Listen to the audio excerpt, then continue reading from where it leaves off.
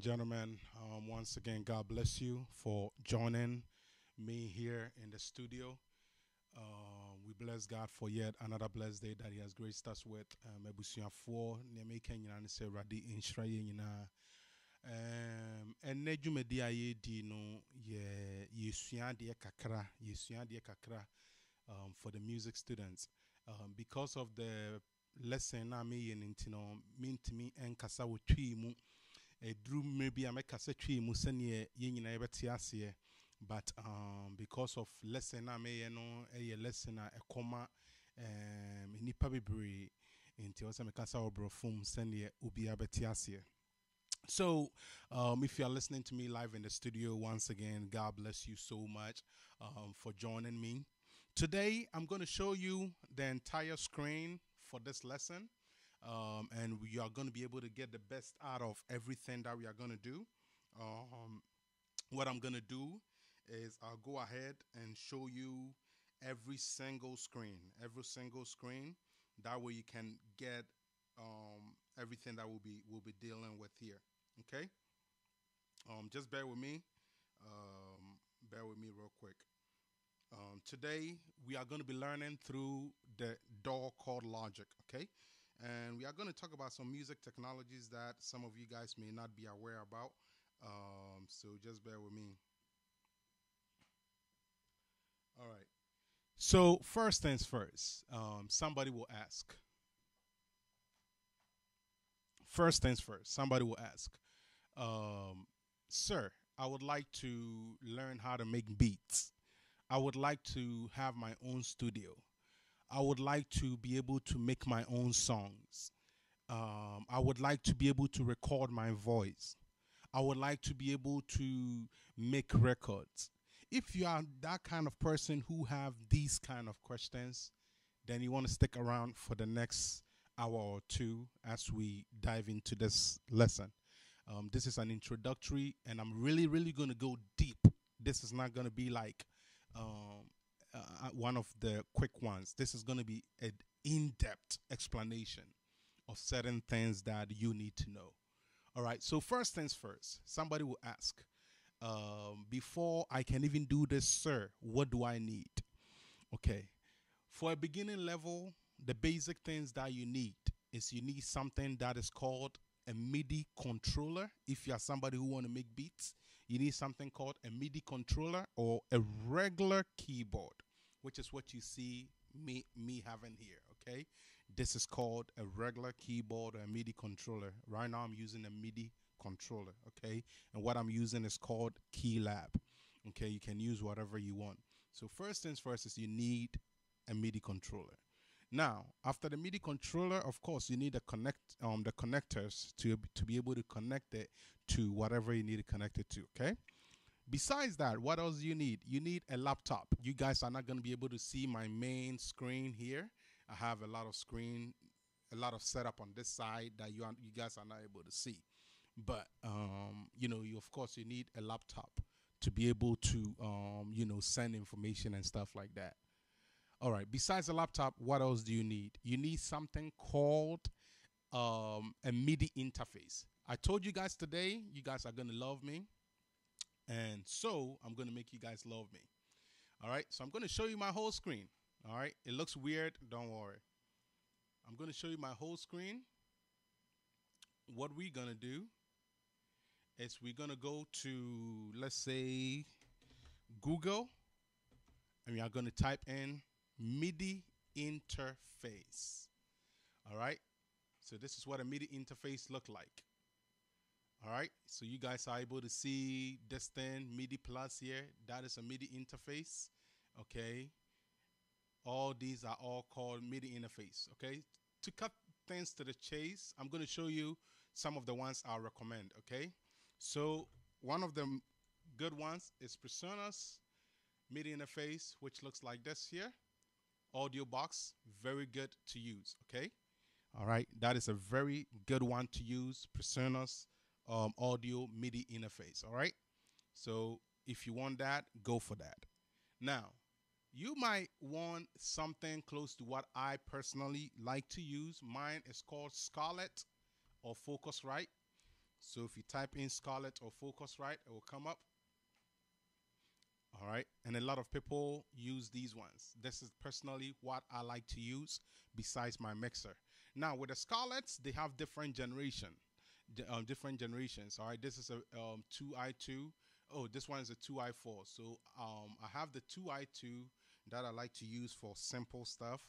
So let me show you the 2i2. Okay. It looks just like this. All right. It has one input here that gives you um, maybe your, your, microphone, and it has another input that may give you a keyboard or a guitar or whatever you may need it for. Okay, so that is the first two few things that you need. We talked about MIDI keyboard. Now let's talk about the MIDI keyboards actually real quick. See MIDI controllers. Somebody will ask, what is the difference between a MIDI controller and um, uh, um, um, a regular keyboard? Okay, so watch this. A MIDI controller looks like this, all right? You guys can realize from what I'm looking at is the M audio, okay? The M audio, you can see it has all these knobs and controls on it, okay? So pay attention to what I'm showing you right now. You see knobs and controls, and you see keyboards, okay? Knobs, controls, keyboards, and then clicks, okay? And of course, you have the pitch wheel and then the mod wheel, okay? So you, you guys see how uh, a MIDI controller looks like? This is another, another example, same, similar stuff, okay? This is another example, same, similar stuff, okay? So now let's look at a regular keyboard, a portable keyboard, and tell me the difference between what you see, between a, a portable keyboard and what you just saw right now, okay? So let's look at maybe this one. No, let me get something that looks straight up so you can really understand the point that I'm trying to say. So let's say, um, yeah, let's look at this one, Casio. All right. So looking at the Casio, okay. Looking at the Casio, let's make it big. Okay. Tap to zoom. Come on, zoom in. All right, cool. So looking at the Casio, what do you see? You see clicky, cl clickable stuff, okay? Of course, you see a screen. The only thing you kind of don't see is you don't really see knobs. So you see clickable stuff and controls, and of course you see a keyboard. But what else do you see? Look at what you see. You see a library of things. At the same time, you see something black here. Guess what that is? It's called built-in speakers. Built-in speakers. And then guess what? The far right, another built-in speakers. So the difference we are seeing between a regular keyboard is we see that you know the regular keyboard has the same stuff the MIDI controller has, but it has built-in library or sound module. Okay, all these stuff, and then the um, what is it? The the MIDI controller don't have those. Okay, so now let's break it down. So the point is, a MIDI controller cannot play out sounds. It can take, it can control information. So for instance, I I send it to something, then I use it to control. The same way you con- connect your controller to a game, like uh, a video game, and then start playing, um, like this controller here, okay, and start playing, okay. You see how this controller, a lot of you guys like to use it for PS3 and stuff, like PS4 and stuff like that.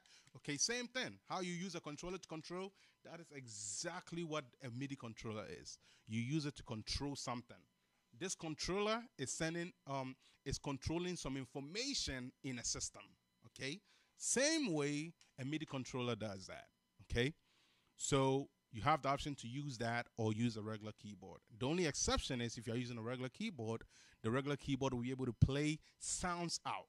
Okay, so those are the basic things for you to understand. So first things we are learning is we need a keyboard or a MIDI controller. We need a, um, a laptop, okay, somewhere to send our information. Then of course we need the MIDI um, interface, which we talked about. Let's see if we saw that. All right, the MIDI interface. Let me try and go back. Okay, good. See, these are called MIDI interfaces. Okay, and then of course you see um that. Now, MIDI interface. Let's talk a little bit about that. So MIDI interface, one of the things you're going to realize is this. You are realizing that a lot of these have a few channels. Somebody might be like, man, I thought I needed a mixer. Well, I'm going to explain that real quick. So with the MIDI interface, you realize a lot of these have two channels, okay? A lot of these have two channels. A lot of these have two channels, okay? But guess what? If you needed more than two channels, or uh, um, two channels, and you needed maybe let's say eight channels, you can get those, okay? Watch.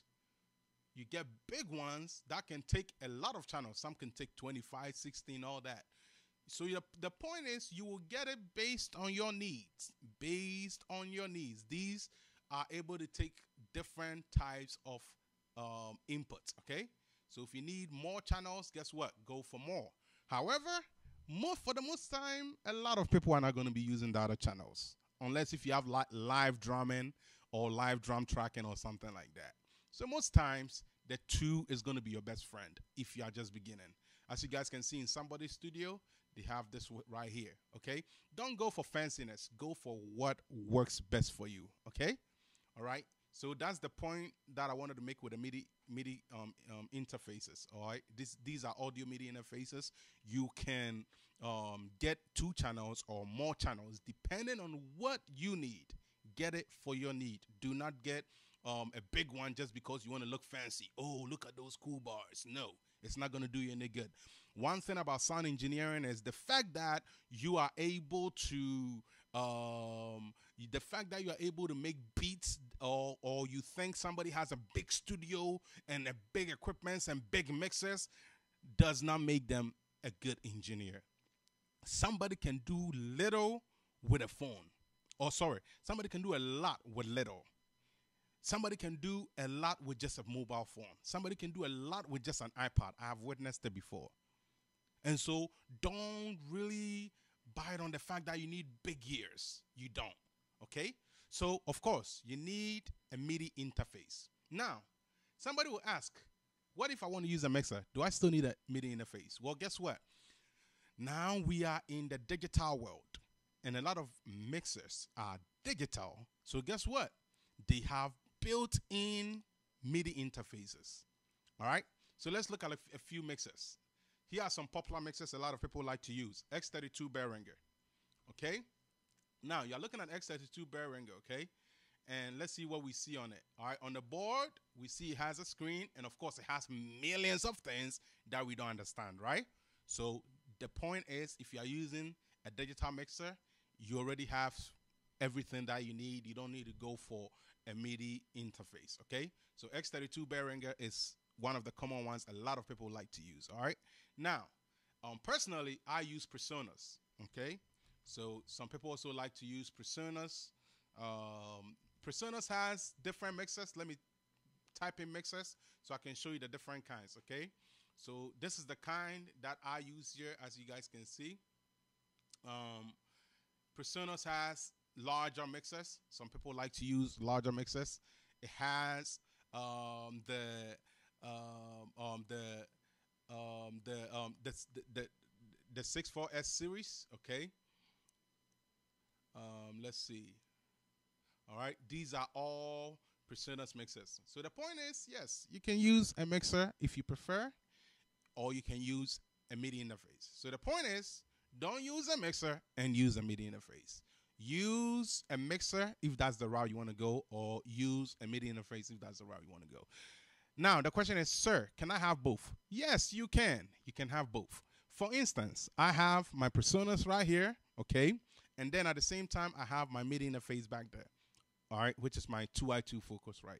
Now, why may I use certain go one way versus the other? For instance, if I'm recording vocals, for instance, I have an artist who, uh, my artists come here to record their, their music, and some, um, you know, doing the vocal session. Sometimes I just need dry vocal. So guess what? I would just be like, all right, let me just use my MIDI interface. Because why? I need only one input. I need only one input. So therefore, I would just say, all right, let me just use that. Okay. Somebody may say, all right, I want to do a live recording. I need about a guitar, a bass guitarist, this, this, this, this, this, this, this, and it's a lot. So then my MIDI interface don't become useful. So in a situation of multi-tracking, okay, what is multi-tracking? Multi-tracking is saying you are recording multiple instruments simultaneously, okay, or at the same time, okay. So one time we are going at it, we are recording everything together. You are not going to do it like one, one, one, one. No, no, no. We are going together. All right. So multi-track recording is basically that.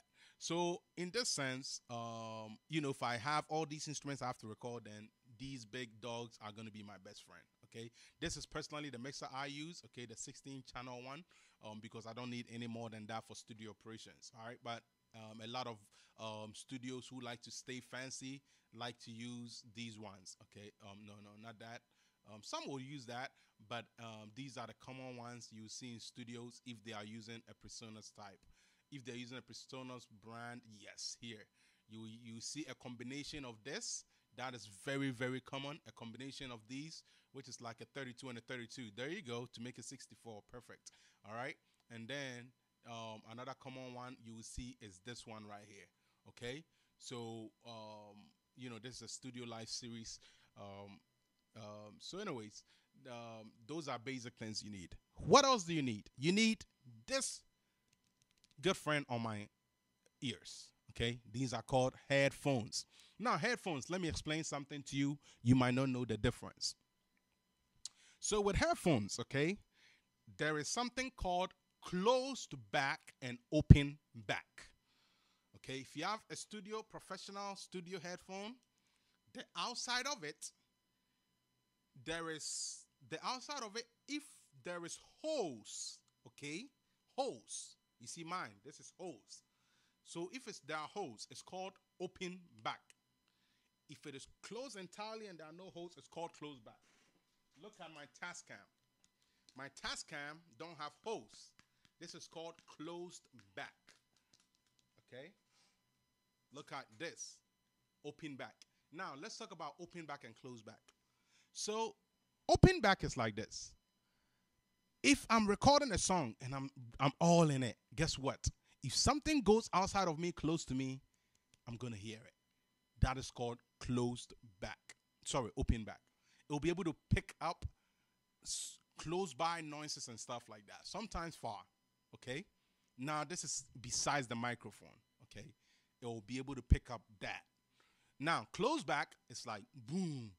It's so tight or it's so locked in that somebody can be saying, Kwesi, and then you are just sitting there. Kwesi, you are just sitting there, you see? But then with this one, if somebody come and say Kwesi, I will hear them. If somebody come and say Stein, Kwesi, I'll hear them. Okay? So this is called open back, close back. So understand that. Okay, what should you use for recording your vocals? Guess what? If you are recording your vocals, these are not your best friends. For me, I use it because I know how to work around it. So, to be very safe, don't use these to record your vocals. Why? If you use these to record your vocals, this is what's going to happen. While you're recording your vocals, if your knob or your headphone knob is is turned a bit too high, guess what's happening? It's going to pick it. So that's why some of you guys will record and you'll be able to hear the song when you're editing the lead vocal or your vocal um session. So when you're recording, you will hear it in the background. Yes, too high. It's either if you're going to use closed um open back, turn it as low as possible, okay? Or if you're sorry, if you're going to use open back, turn it as low as possible. Or if you're going to use closed back, you can use regular volume um to the taste of the individual.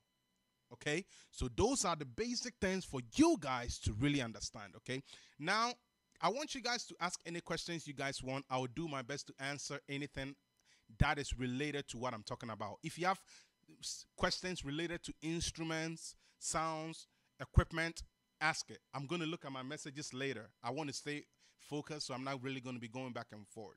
But over time, I will look. All right. So here's the deal. These are the few things that you need, and then your headphones, okay? And then guess what? You are ready to go. Now, there's another thing you're gonna need. That is if you want to really take it to the next step or get the best out of it. It's called Studio Monitors. Now, look at this. I didn't say um, live speakers or anything like that, okay?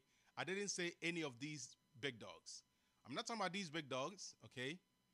I'm not talking about these big dogs. So pay attention to the word that I'm using. The word I'm using is studio monitors. Okay? And guess what? They all come up. Look at this group here. All kinds of studio monitors. You got it on KRK. Um, you got these. You got JBLs. All kinds of brands. Okay. So that's what I mean by studio monitors. How many do you need? Preferably, you should use at least bare minimum two. For me, I use five. Two of um what are these even called? I, I forgot what these are called, but these um white ones right here. These these are the ones I use. I forgot the name. Yes, the Yamaha H um HS8. That's what I use. Okay, I use two of the regular speakers, then I use a sub of that to get my bass. Then of course I use JBLs. If you guys know anything about JBLs, they are powerful machines. Okay, how do JBLs look like? Um, let's see. Let me type it in quick so we can see see it quick. All right. JBLs look like these. Okay. That's how they look. All right. So that's um, the other speaker that I use, but mine is huge. It's not the small ones. All right. So you need those. Now, what are some monitors that I will recommend to somebody starting? Let me go ahead and give you my tops, my top favorites. Let's start with the KRK. Okay. A lot of people are going to see these yellow looking speakers in yellow looking speakers in a lot of studios. Okay. Now, if you're using KRKs, all right, that means you probably like a lot of bass. A lot of bass. Okay. These are called KRK Rockets. Okay. Now, um, um, let's see. Let me see some big pictures. Yeah. So if you're using these speakers, that means you love bass. Okay. You love bass. All right guess what the speakers are going to do for you? It's going to give you a lot of bass. When you're using these speakers, you don't really need a subwoofer. All you need is have fun mixing. All right. So a lot of people use these as um and number one, I see these more in a lot of studios than anything. All right. So KRKs is my preferred um monitors. If you're a beginner and you want to get the best out of the monitors, go for the KRK. If you are somebody like me who says, man, I'm looking more for dynamics, I don't want the bass to deceive my ears, and I want to go for something that will help me with mixing, then you go for my choice. All right. So of course they have um, SH10 and all that. So you go for these ones, okay, which is the Yamaha HS8 or above or whatever whatever you want to do. Okay, these are what I use. Okay, now with these, what is the difference between these and the KRKs? The KRKs is going to give you a big bass. Okay, these are going to cut a lot of the lows, and you're going to get a lot of mid ranges and and stuff like that. Okay, so if you go for this, um, you're going to get a lot of mid range and normal type of volume. So that's why I would add a sub that looks like this guy right here. Okay, the subs help me. The sub look exactly like that. Okay, I add a sub so that way it helps me to get a balanced sound. Um, so I don't depend on the bass so much. So that's why I use these because I want to get very good mixing. That's why I use these. I'm not trying to tell you that you can get good mixing with KRKs. You will. I'm just saying by preference, I like these guys. If I, if you don't want to get your ears deceived, okay, um, just like you see this guy have here. All right, so I don't want to have my ears deceived with bass. So that's why I would go that. So then let me talk about one more that I think is very good. Everybody who is into music knows JBLs cannot be messed with. JBLs have been good and reliable um, resource for over years, ages, ages, ages. From their big speakers to everything, JBL has been a big brand for ages. Okay, so if you are somebody like um, somebody who wants to go for the Yamaha, um, Yamaha type, um, um, but you don't have the the resources or whatever, you want to go for something a little bit slightly affordable, go for the JBLs. Okay, JBLs will not lie to you; they are going to be good. Guess what? They were my favorite monitors until they kind of blew up in a way. So then I was like, you know what? Let me go get these, um, pick up these um, Yamahas. Okay. So I would say, you know, do JBL if um, you are comfortable with it. Okay. JBLs will not lie to you. Okay, JBLs will do a very good job for you. Okay, I think they have those in white too. Okay, so go for go for JBLs. Okay, if that is um, your preferred method of uh, monitors. Okay, so the question becomes, Minister Stein. So are these your top favorites in order of preferred? Um, what you prefer for people? Yes, yes. Um, for the um, Yamaha, like I told you, that is my personal favorite. But I would say if you are beginning, KRK is number one. I would say personally on the market based on what I've observed, meaning the number one monitor that I see used a lot, okay, is the KRKs. All right, this is not just for this year or last year. I'm talking about over the course of years. That's what I'm talking about. Okay, so KRKs is your best friend if you need ideas on how to jumpstart. Okay, so KRKs. Then it comes to JBL. Then it comes to, uh, sorry. Then it comes to the um, the Yamaha um, HS8. Then it comes to JBL, any of the JBL monitors. Okay, so here's the deal. This is the order that I will give to somebody who's just starting. Okay, if you need ev- something with everything in it, go for the KRK. Okay, because you're gonna get the bass, the mid range, everything. You're gonna love it. You're not gonna hate it. Okay, everything will be perfect. If you need something that will give you a little bit of dynamic and not so much of bass, so you can really concentrate on your mix, then you go for the Yamahas, um, the, the, the Yamahas um, H um, HS8. Okay. If you need something that is kind of like the KRK but a bit more flatter, JBL. Okay, will do the job for you. JBL will not disappoint you. Okay. So these are the order I'll give to a beginner or somebody who just want to step their foot into the field and learn about these uh, monitors or whatever the case is. Now, what about the expert who just need the best answer to what is the best way to go? Personally, I will flip it around with the Yamaha HS8 as the preferred method. Look at some of the best engineer studios, and I'm I'm gonna guarantee you you're gonna see these um, set of uh, monitors. Okay, these monitors are not a joke. They get the job done. Okay, so if you want to flip it around to somebody who's very serious, want to get into it, I'm not saying you're limited to this. There are good ones out there, but this is just Stein's top three that he's talking about. Okay, so number one would be the Yamaha HS8. Okay, and that would be these guys right here, these cats right here. Of course, I would advise you to add the sub, okay? Add the sub, which is sold separately. Okay, add the sub for a little bit more bass whenever you need to work on a song with a lot of bass, especially African music and Ghanaian music. They depend on a lot of bass, okay? A lot of bass, okay? So, Yamaha SHS powered, yep, that's it, okay? All right, so don't play with these cats. They get the job done. If I'm to play some music live for you to hear it without my connection, you will love it. Okay? So, preferred for the pros, okay, or the advanced guys, go for the Yamaha HS8 as your your first um, your first option. Your second option, I would say, go for the KRK. There's there's a reason why I'm not putting JBL before KRK because KRK you cannot you can never beat it. Okay, I only stay away from KRK because of uh, my research on how, uh, my research and personal experience of how I've heard the bass. All right, the bass is very good.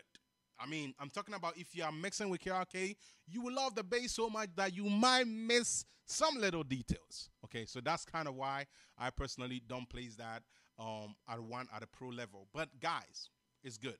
So the KRKs will be my um, or the Rokits. Of course, they have five, six, seven, eight, and all, all, all that. So go for whatever you you you, you can afford um, based on your budget. Okay, so um, see, like I told you, these cats they are almost in almost every studio. You see, this guy has it. You know, you're gonna see in a lot of studios. See, look at it.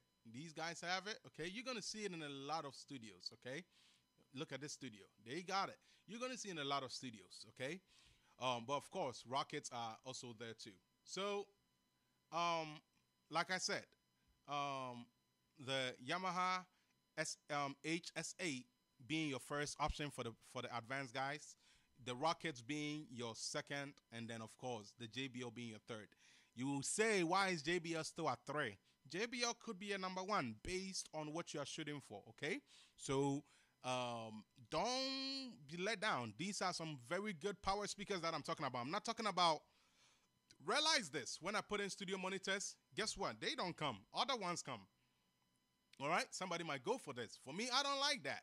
All right, I don't know what a Mackie Studio monitor really sounds like, but I can imagine it sounds flat. I don't know.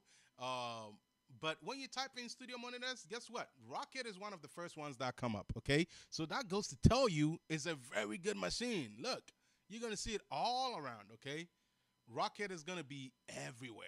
Okay, KRK Rokits. Um, don't mess with it. Don't mess with it. They are good. You see, all these studio monitors. I really can't trust those. The Mackies and all that. I haven't used it, so I can't trust those. But if you want to go for those, surely um, um, sure, go for those. All right, but those three that I talked about, those are my personal um, top favorites that I would say um, you go for if you are looking for studio monitors. Okay. All right, great. So at this point, we've learned about MIDI controllers. We've learned about the laptop. We have learned about um, uh, MIDI interface. We have learned about a mixer. We have learned about our monitors and we have learned about our headphones. Of course, what else do you need? The thing I'm talking into, okay? So somebody will ask, what kind of microphone do I need? Okay? So if you come and type microphone, you're going to get all kinds and you'll be confused. Somebody will say this look fancy so it's good. No, it does it's not good. Look for what you really really really really need. Does it mean you cannot record with these headphones? Uh, um, these microphones? Don't mess with it. They are good. Don't mess with it. So the word that you should be looking for, okay, the word you should be looking for is condenser microphone. Okay, that's what you should be looking for. All right, and when you do it, all these are to come. MXL, good ones. Okay, you're to see some Rodes, good ones. This, good one. All that I would say is for this, stay within your budget and learn a few things about the microphone before you purchase it. Okay, these are Rodes, very good microphones um, over the course of years. Okay, all right, let's see this group. I saw a group, yep, here. All right, these are all good microphones. Okay, don't say this guy is little so he cannot get a job done. You never know. Okay, you know, sometimes you might need to grab a, a few and test them out. Okay, all right, you might need um, a few to test it out. All right. So I'm not really going to recommend my. I'm not going to give recommendations for these because you could go any way with microphone. But I'll tell you, brand. Okay, that some of the top brands are Rodes. Okay, Rodes is a top brand.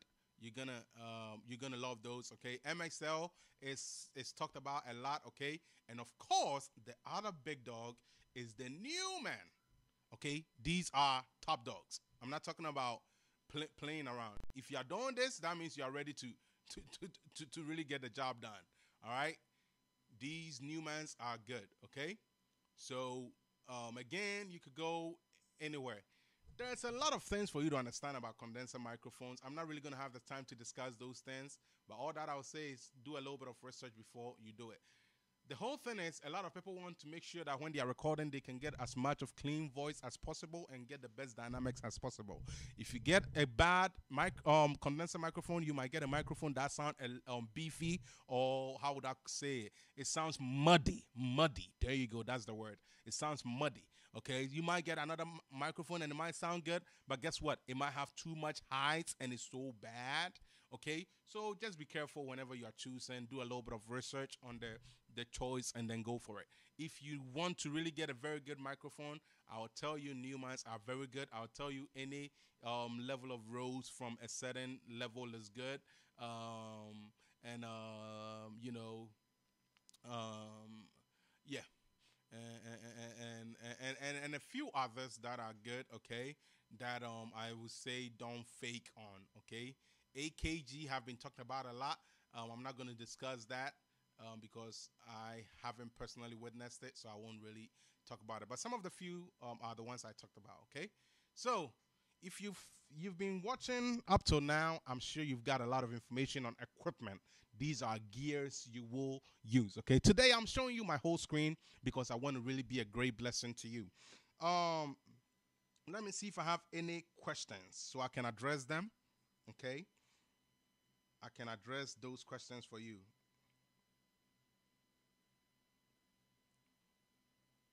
Okay. Um, okay, I don't have anything. All right, cool. So if you're still watching at this point, okay, I'm sure you're learning a lot.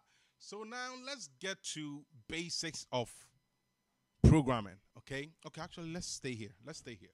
So what do you need to program? We've talked about equipment. So now let's talk about other things you may need. You need something called a DAW. So first off, let's go and research what what is a DAW and see what a DAW is.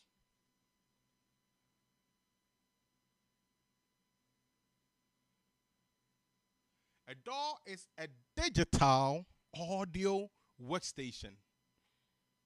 It's an electronic device or application software used for recording, editing, and producing audio files. Bam! When a lot of us were young, we were introduced to something called Audacity. Okay, let me type that in so you can re- be reminded. We were introduced to something called Audacity, okay, which looks something like that. Okay, Audacity is what we've been really introduced to um, from young age. But guess what? Audacity can only do so much for you. Okay, basic things. All right. So when we are looking for a DAW, we are looking for something that is digital audio workstation that can do a lot. Okay. So let's look at some DAWs so I can DAW softwares. Software list. Let me see. All right, so let's look at the top here. We see Ableton Live, okay? Ableton Live, okay? It's very good. Fruity Loops. A lot of people use it to make beats. Um, a lot, um, usually for beat makers. Okay, Bitwig. I don't. I'm not really familiar with it. I won't talk about it much. Reaper. I've heard about it. I haven't used it. Pro Tools. Very good. Steinberg. Very good. Reason. Very good. Um, digital performance, I haven't used it. I won't talk about it. Logic, very good. That is my my field. That's what I use. Okay. Um, um, Ardour, I've I haven't used it before. LMMS, I've heard of it, haven't used it. MuLab, haven't used it. Mixcraft. Let me tell you this: when when I started doing programming, guess what? My first software that I ever used was Mixcraft. Mixcraft. Don't play with that boy. If you are somebody who likes Logic, but you are you you you are sad that Logic is not on Windows, don't quit on this guy. This was the only reason why I got this is because I didn't have a Mac at the time. I didn't have a Mac at the time, and this guy did it for me. Okay, don't quit on this. If you are if you're not a Mac user, okay, if you're not a Mac user and and, and, and you like Logic, don't quit on this guy. All right. I still love it. Okay. I still love it. I still love it. Okay. And I think I still have it on my PC. Um, just whenever. No, never mind. I'm lying to you. I, I, I deleted it because I have a new. I have a new computer that I use for broadcasting. I, I don't put softwares outside of um, TV on it. This is on only the PC is only for TV. All right. So guys, you are learning a lot from these softwares, okay? We got to Mixcraft, very good. Cakewalk heard of it, haven't used it. Adobe Audition used for other things. Studio One, very good, okay? Um, Studio One is very good as well. Um, and, and all these, okay? Um, and GarageBand, um, which is made of uh, Logic, is made of um, GarageBand and, and stuff like that, okay? So that is what a DAW is. So you will ask me, what DAW should I use? Okay? What I will tell you is this: if you're a Logic user, sorry, if you're a Mac user, okay, your top your top um DAWs I think you should really look at is oh sorry, there's one common one I didn't even bring up. Okay, it's called Cubase. A lot of Ghanaians and Africans like uh, African engineers use that a lot. Cubase, very, very, very good. Okay, so don't play with that. Also, Cubase right there. Okay, don't play with Cubase. Very good. Okay. I'll tell you what my top my top DAWs are shortly. So if you need a DAW for Mac, I would say go either GarageBand if you're a very beginner. Okay. Logic if you really want to get advanced. Pro Tools. Okay. or any of the other ones, I won't talk about those because those are optional. Okay, Ableton Studio One and all that is, however, that one is all about taste and experience. But the top dogs I would say look into if you're a Mac user is beginners go for GarageBand. Okay, if you want to get advanced and really get to the bottom of things, look into Logic or Pro Tools. Okay, Pro Tools is kind of the big dog that everybody talks about, but don't fake on Logic. Okay, Logic is as good as Pro Tools if you know what you're doing. Okay, so Pro Tools and Logic are kind of the big dogs on Mac. Okay, all right. So that is kind of on Mac side. Now on the Windows side, Pro Tools is your big dog there. Cubase. Um, uh, am I missing something? Pro Tools, Cubase, of course, FL Loops. That is not a thing too. A lot of people use FL Loops. Okay, and I think that's for both. Both. So, um, you know, don't fake on FL Loops or for, for for beat makers. Okay. All right. So on the Windows side, like I said, Pro Tools, um, Cubase. Um, I have to look at the list so I can remember. To uh, I, I can tell you easily. All right. So DAW, Windows. Okay. Anyways, it does. It's not even a big deal. But Cubase, um, Cubase Pro Tools, and I think Reason is for um, Windows too, but that is a good one as well. All right. Um, again, you will need these softwares based on your needs. You might need it for live situations. You might need it for recording situations. I wouldn't say one is too good than the other, but there are um, some limitations based on what you're doing. For instance, FL, you can't compare a Pro Tools to FL. No, Pro Tools is on another level than FL. Okay, FL is basically um, you know used for beat making, and you work in a grid grid style. I don't know if they've up made any up kind of updates. I don't know about, but it's made in a grid style, and you can't compare that to Pro Tools and some of these other cats. Okay, so that is what you need to know about DAWs. Okay, so you've learned about the equipment side of things. Now you know a little bit about how DAWs work. Okay, so now let's get into logic and let's talk about some basics about logic. Okay, so these are the basics you need to know about being a sound engineer.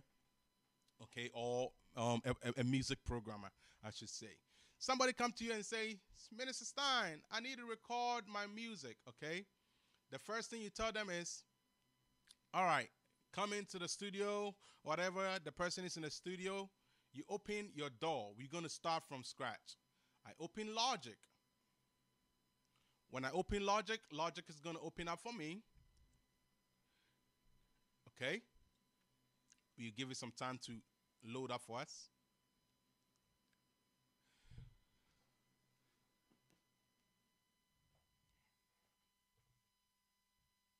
Okay, Logic opens up for us. Then we look at new project. Okay, now when it opens up for us, there are a few settings that are down here. Yours might look like this. You will need to open it and work on those. I will tell you this. You can either do it here or you cannot do you, you can choose not to do it here. For now, I will do everything here. Say I know I'm going to work. Say I don't even know what tempo is. I don't know any of this stuff. So let me just for now, let me forget about all these things and go on. So we're going to just click empty project or we can click on one and click choose or click on one and click choose or double click. Same thing. All right. So we get into the software. All right. The first thing is it says pick something. We're just going to pick a random one software. Now, the first thing for you to understand is before you work on anybody's song, before you work on any project, okay, the first thing for you to consider is the settings of the project, okay? So here's the deal tempo. Hear how tempo sounds like. Okay? That thing you're hearing, that is called tempo. That one is called tempo. So the first thing is if you're going to work on a song, you need to know the tempo. Okay? So say I'm going to work on some kind of reggae song, reggae song. And I hear this. It might be a little too fast for me. So I may say, okay, let me reduce it by maybe 110 and let me hear that how that sounds. Okay, seems like it's getting there. How about let's try 95 maybe?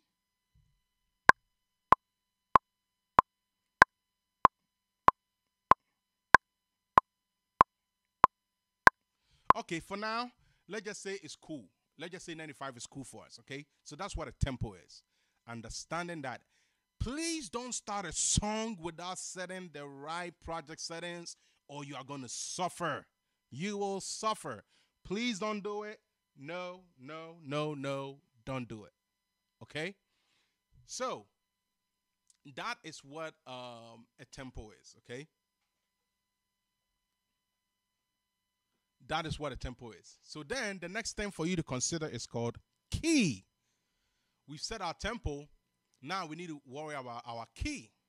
So say I'm going to do a song in the key of C. I need to make sure that I have my key, the right key selected. Okay?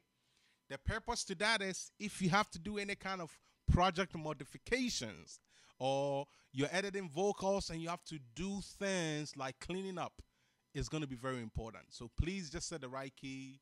And at the end of the day, it helps you to stay clean. So these two big dogs, the tempo and the key, are your big ones. Your time signature, most times 4 4 is okay. Depending on what kind of music you're doing, you may change it, but I'll tell you 4 4 is okay. So it says beats and project. That is kind of how you see it. If you want to see the length of your project, you come to time. Right now we are zero zero. The more we keep working, it's at 10 seconds, blah, blah, blah, blah. It keeps going to whenever we finish, okay? So that's how you're able to see your time. You can also keep it here so you can see a bit more. Okay, for now, let me keep it to um, project like that. Keep it that simple. All right, so that's the first thing. Now, another thing that I really want to talk about that will may save somebody's life, okay, is this thing right here. Most times, most times this thing may be set to the wrong place.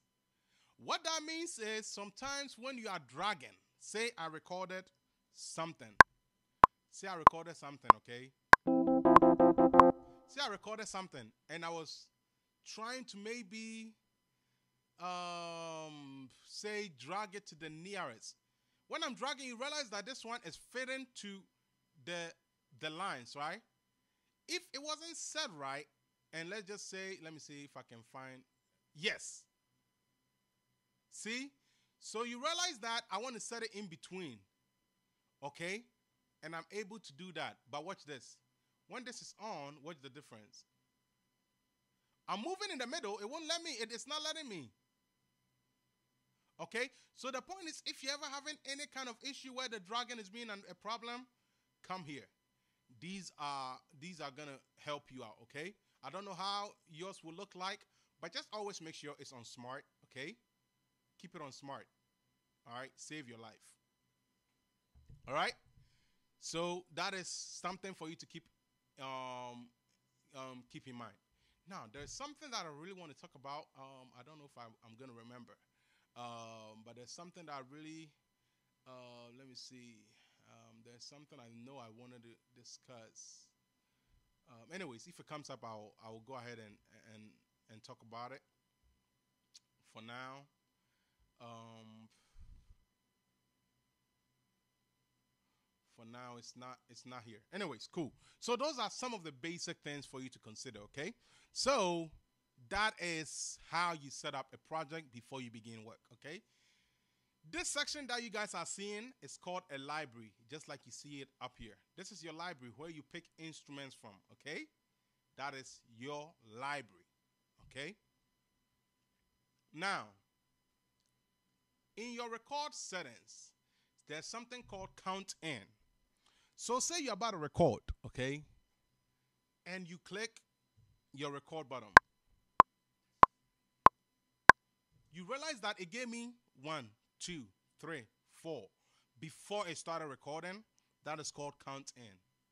If I want a longer time than that, I can make it two bars and hear it now.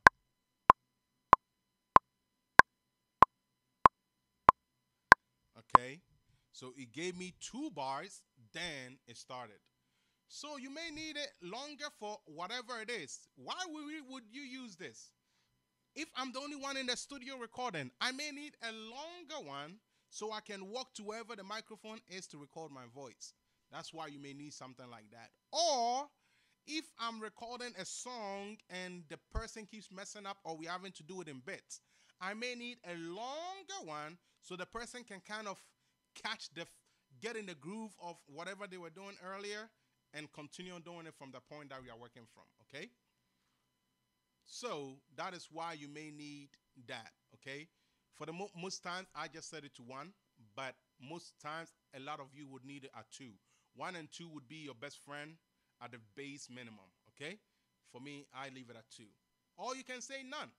If you're doing something like a worship song, some you may not have the time to do that, okay? Or you may need it. It all depends, okay? So, we have that set. The first question is Minister Stein. So if I'm gonna do a reggae song, because that's what we said we're gonna do, what how do I start? Do I start with the instruments? Do I start with what? How do I get about it? So the, what I'm gonna tell is you is you need to start with drums. Okay? So I'm gonna pick one of my libraries that I like to use. Um yeah, let me keep it simple. I'm gonna pick so here, a stereo output, what that means is this. I'm going to pick a track and then I'm going to record everything in one. A multi output means I'm going to pick one and I'm going to have them bust out to separate tracks. So, in other words, I can play a kick drum and a snare, and then every single note that registered on the keyboard will be its own separate channel. Okay? But if I do stereo, everything I played will be one stereo channel. So you get the point? All right. So you may need a multi output. Okay. To start with. I hope you guys are learning. So you may you may need a multi output. Let's give it time for it to um, um, process.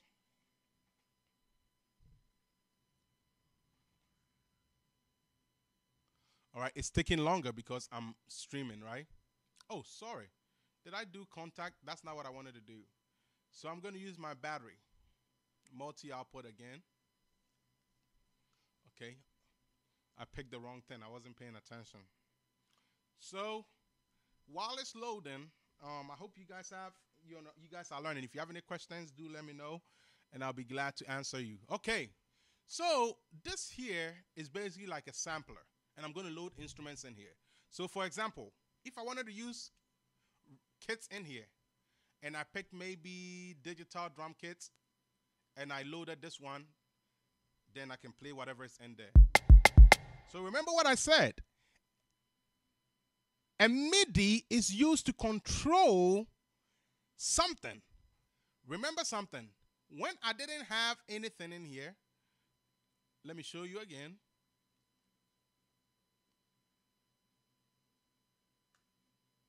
When I didn't have anything in here and it looked like that, whenever I play, you can't hear anything. You see, it's registering up here. You see up here? Up here, it's registering. You see my notes registering, right? You see my notes registering, right? But you're not hearing anything. But now I put on a sound.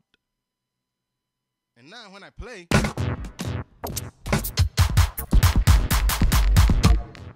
now you can hear, right? So that's what I mean by that.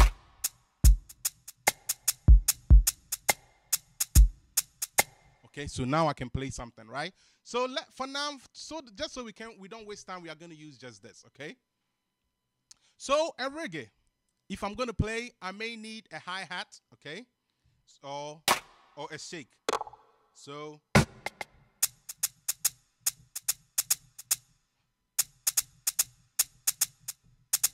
Okay, this is here. This is also here.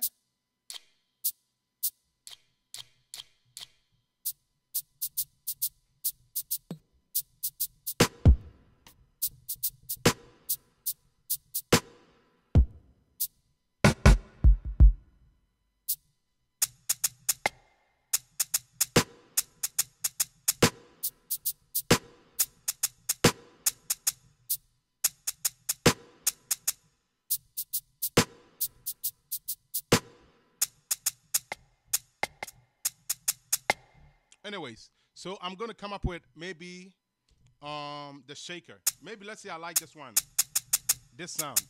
So I'm gonna do.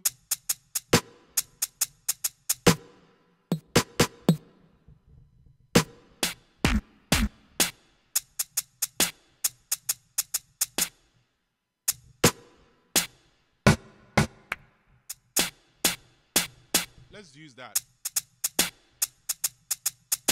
Okay, so let's set a simple loop. Okay, that's what I did. Look, loop. I just clicked on it, or I can make it longer by making it longer to whatever I need. Okay, so maybe I may need um, just about, let me see, that's one bar, two bar, three, one bar, two bar, three bar, four bars. I just need four bars, okay? You are asking me what am I talking about bars? Here, this is a bar, this is a bar, this is a bar, this is a bar. So one, two, three, four. Okay? So it goes one, two, three, four, one. One, two, three, four, two. One, two, three, four, three. One, two, three, four, four. Okay? That's what I'm talking about. So So let's make that beat. Okay, that's a bit too fast. Let's see.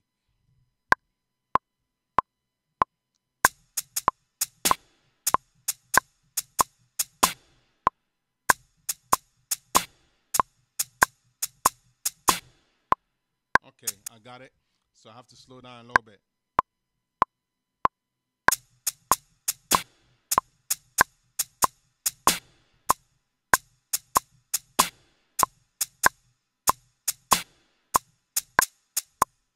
Okay, let's just say we like it. All right, it's not perfect, so don't worry about it. All right, so here, this is called your piano roll. Okay, the way I got to that is I double click it, double click it to come inside it. All right, now you realize something. You realize that, hey, how are some of the colors different? This one looks like this, this one looks like this, this one looks like that. So the way I target that is I'm going to set that to a fixed velocity. So I highlighted that, okay, highlight it all. Okay, then go to MIDI transform, fixed velocity. Okay, now, if you know your, your, if you know your, um, your numbers, you'll be able to know how to do it. But let's just say I don't know. I can click on this one and see what that is. That one is at a velocity of 122. 122. This one is at a velocity of 121, a velocity of 119. Okay, so I may say, okay, let me just make it all 120. Okay, let's just say. And I'll just make it all 120. And now, guess what? All the colors look like the same thing. All right, so that's one way to get this done. Okay, and of course, keep in mind, I didn't only do, um, um, I didn't only do the snare. So you might have to be, you might have to select the ones you need to do that. You might have to do it for the snare, everything. So that is the first thing I've done here. Now there's another thing called quantization. You can select it all so that it can fit to the line. Keep in mind, it's not fitting to the line. So the only way it fits to the line is if I quantize it. So I can click the Q all over here or on my keyboard and it will quantize it. So watch what is going to happen. Everything is quantized. It all fits to the closest line.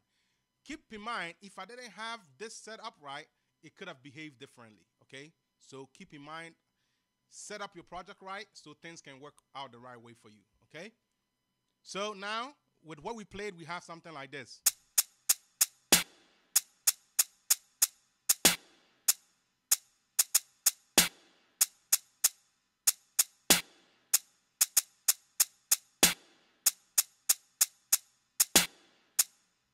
Right, we have something like that. Sure.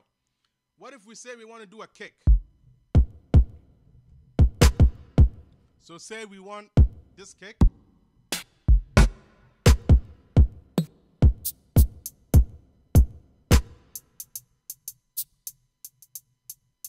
Okay, this one sounds good too. All right, it's fine. We'll, we'll figure it out.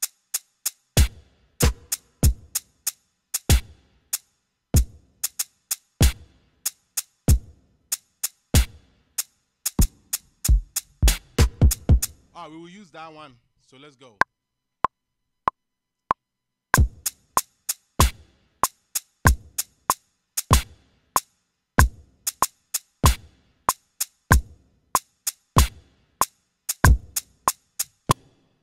All right. So we'll do the same thing. Quantize it.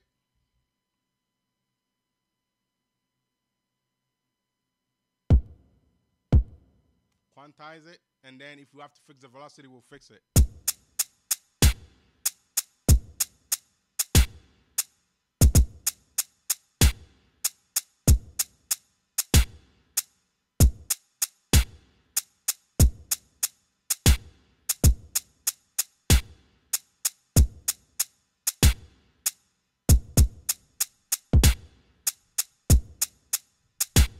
Okay, so we might make some changes here. Let's see.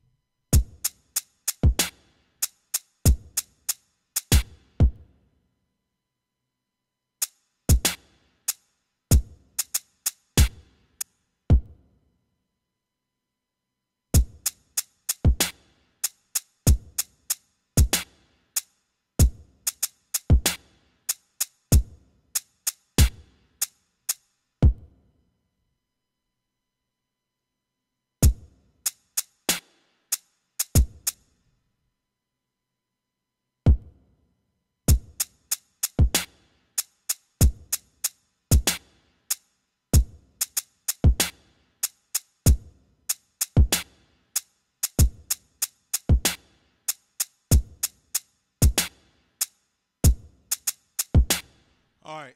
So let's just say we like that, and then maybe you want to add something else.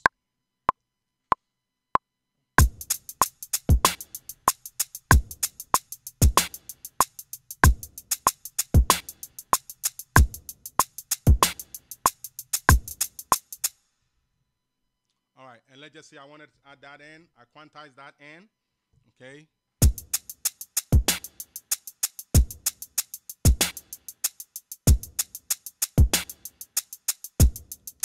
All right, let's just say I'm feeling too lazy. I want to add in some kind of shaker and I'm feeling a bit lazy. Let's just say I'm feeling a bit lazy. I can add in a, a, a simple shaker. Okay.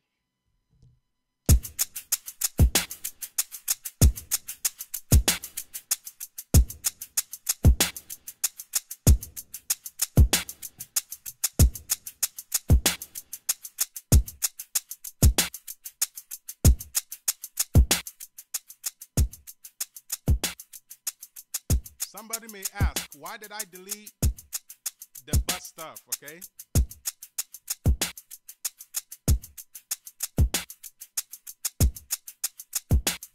All right, now this is not perfect, okay?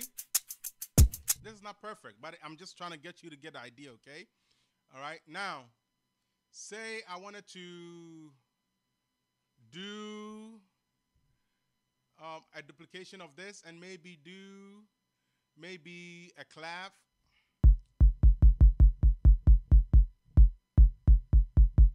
Maybe a clav, okay?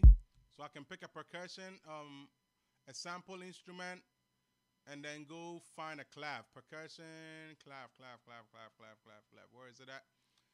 Um, okay. Yo, I'm already there. I'm, I'm tripping. Okay, see, I like I like that clap. Then I can decide to record that in separately.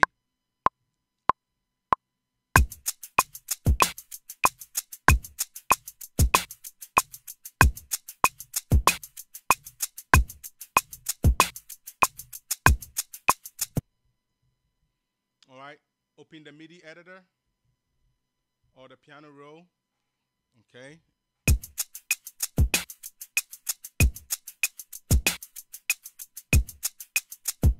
Okay. So now, at this point, what we have is we have a basic thing. This is not a real way. I have to take my time to do certain things, but I'm trying to, um, in a way, speed it up because this is not the point to why we are here.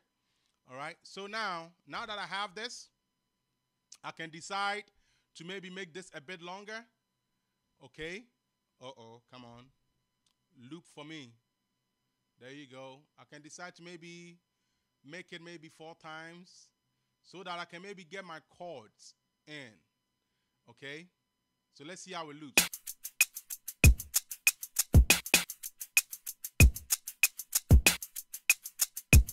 All right.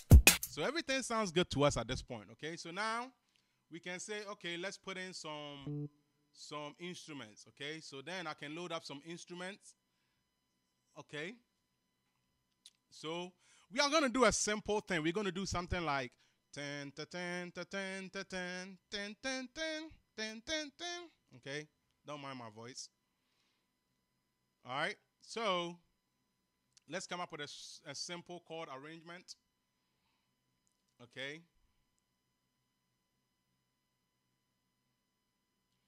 All right, it's loading. Give me a few um, a few seconds for it to load up. Okay. Do I have any questions? Remember, I'll answer your questions. If you have any questions, ask. I will answer. Okay.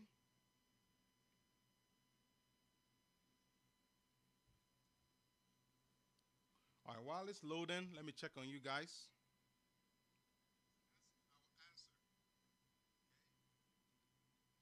All right.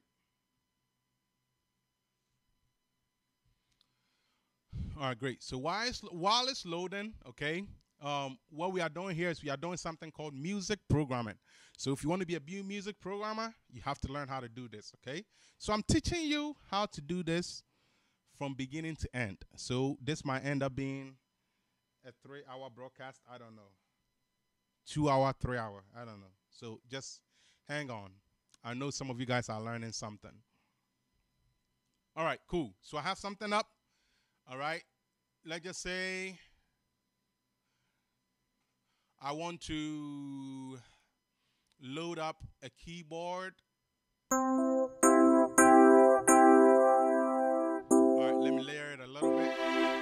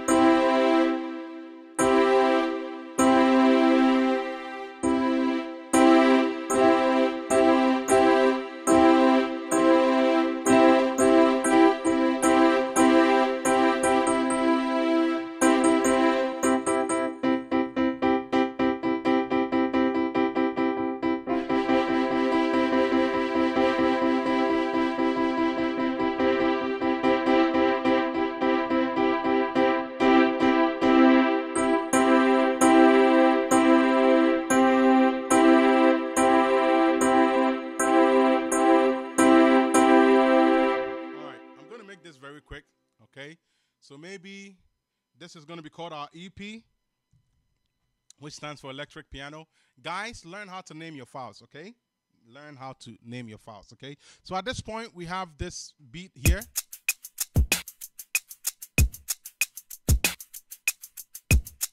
Okay? And then we're just to come up a random chords like.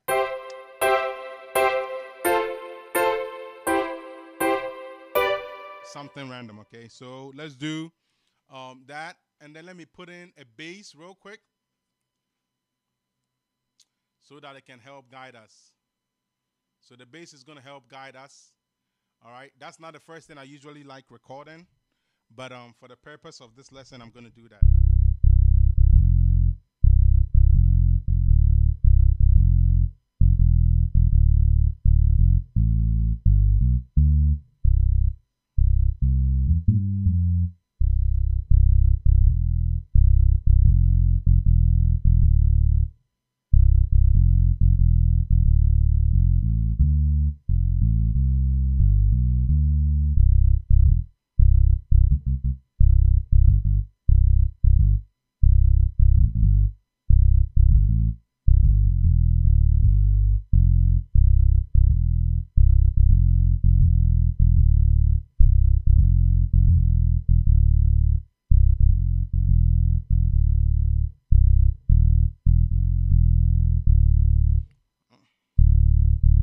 So we're just going to come up with something random. So let's go.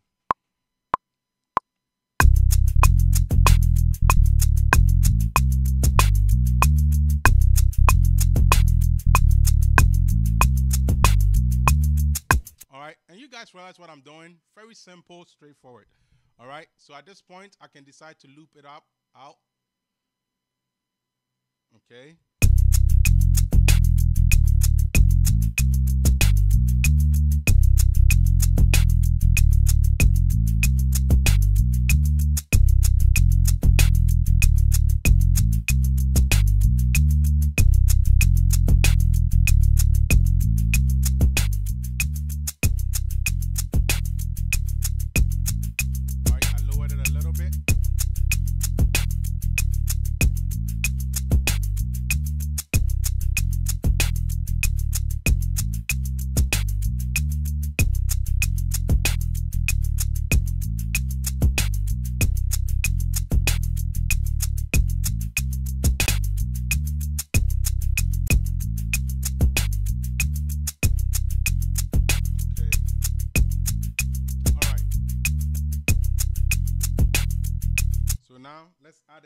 Chords, okay? We, okay, we're gonna add the chords and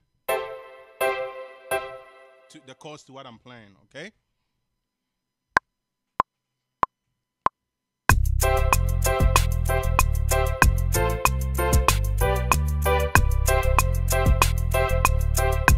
If you want to make it a bit a bit richer, you might have to make more switches. So I'm doing.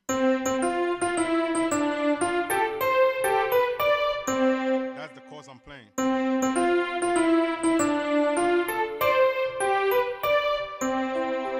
you gotta figure those chords out.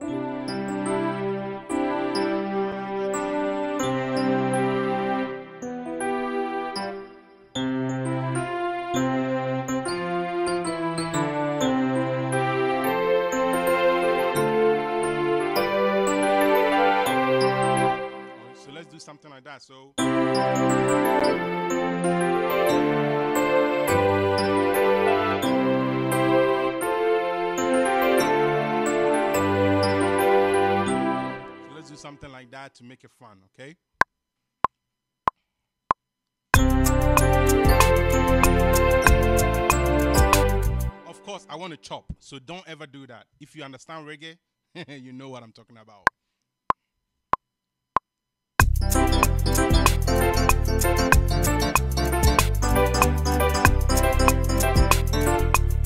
Obviously, I'm a little slow, but don't worry. That's why it's called programming. The programming will take care of all those delays, okay?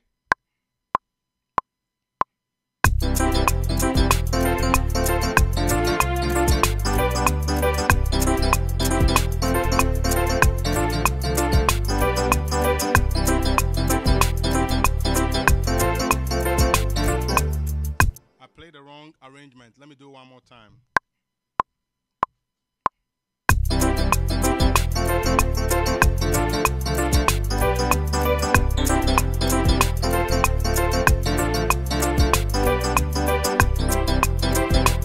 All right, so we have something like that going for us. Okay. Now we can you can do your velocity fix. I'm not gonna have time for all that, so I'm just gonna keep it simple.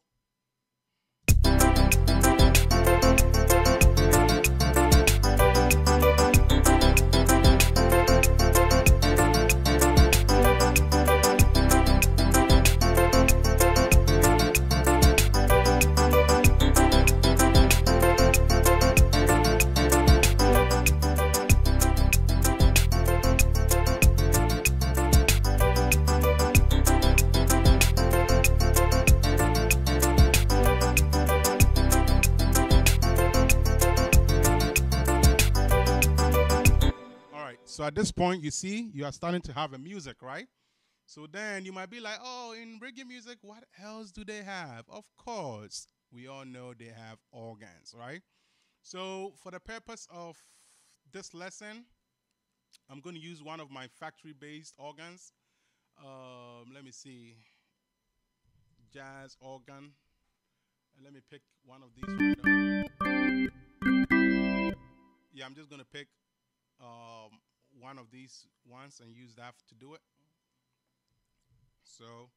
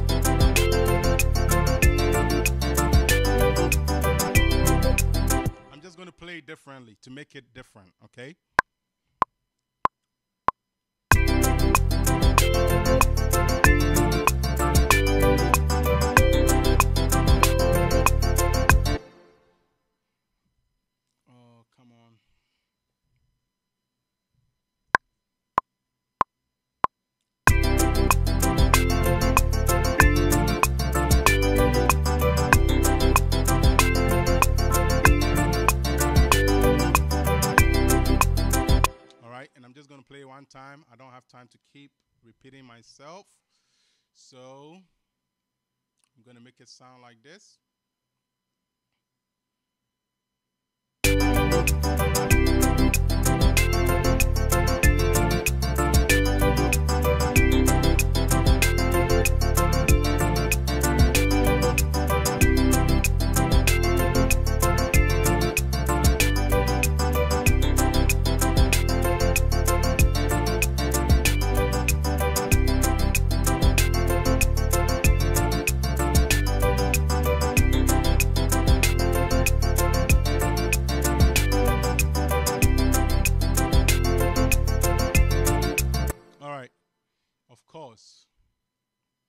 So at this point, we have some music going, right? And then of course you do your rollings and all that. I'm not gonna have time to do all that stuff. I'm gonna um, so what we are doing here is called programming. We are programming a music, okay? So that's what is going on right now, okay? So we might say we might say we want to add something else um, to spice it up a little bit. So maybe let's just say we go for my syntage again, and let me load up um, a quick sound. Okay. Let's load up like a lead or something like that.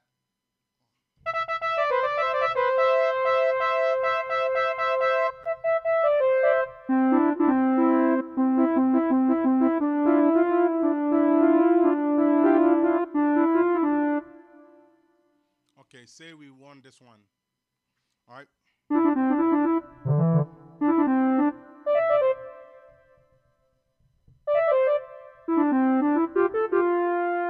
So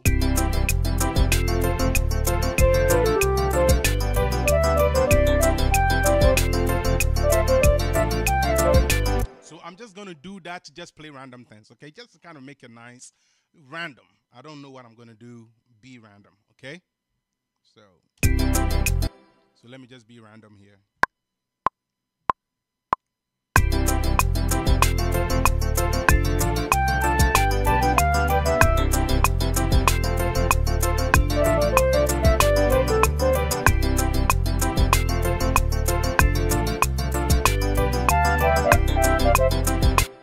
Oh, come on. Let's try it again. Okay.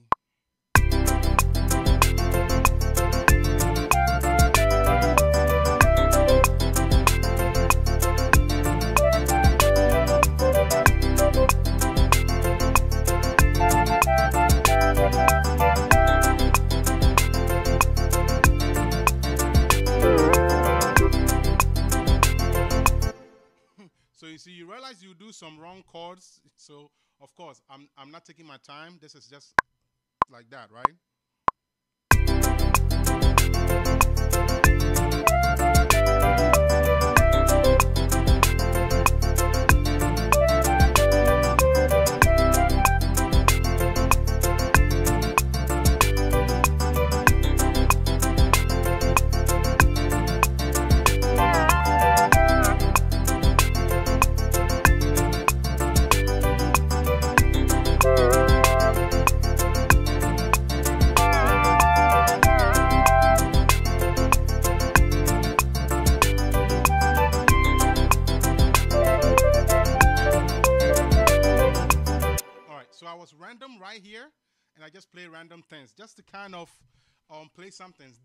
That I'm doing, a lot of people call it ear candy. Okay, um, so I might just call this um, flute for now, or synth lead, synth lead. Okay, synth lead for right now. All right, and I have something like this going. Okay, Um, let's see.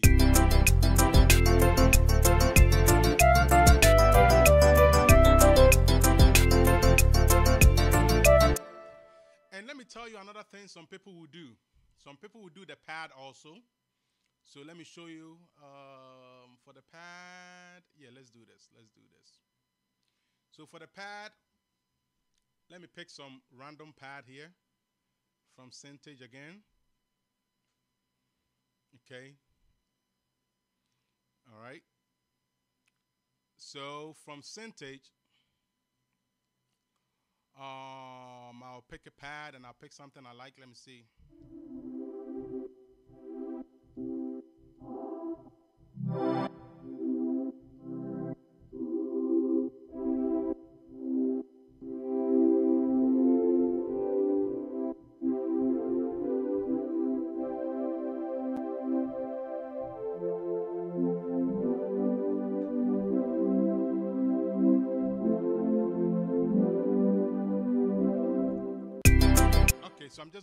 That pad, okay? All right, and of course, the pad is just to help it stay together, okay? So I'm just to use it for the background or whatever. So.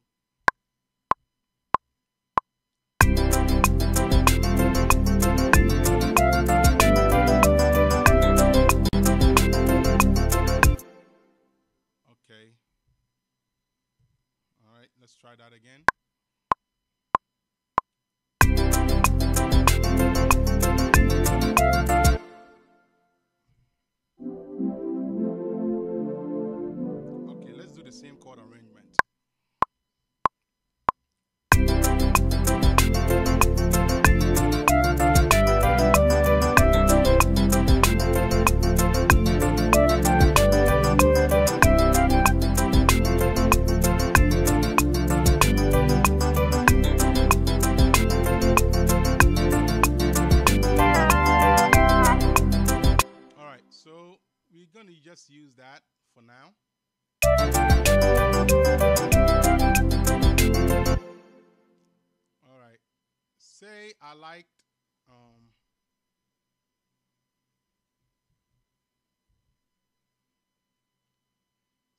I like this more.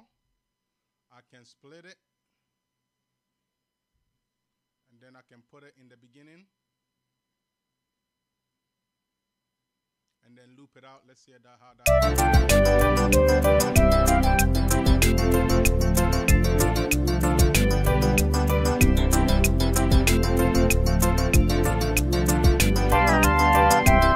Okay, of course. So now, when we listen to everything we've done, here are the instrumentation.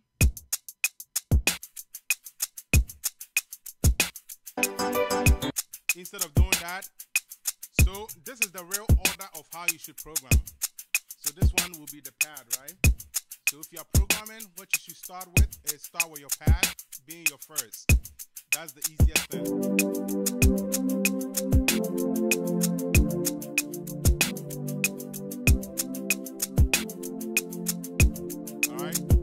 So after your pad, the next thing you should think about is your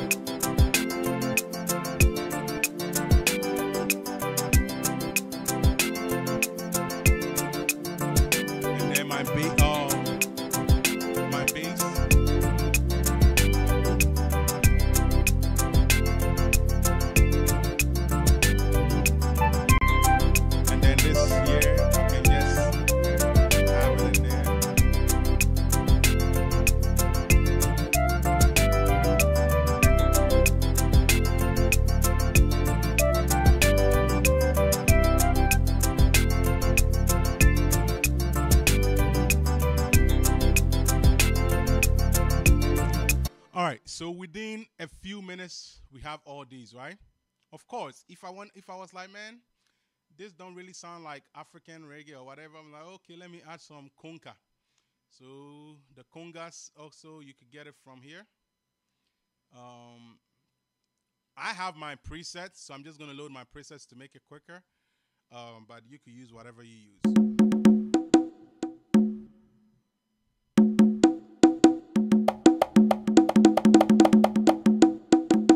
So I'm just going to play one, you know, those and make it simple. So.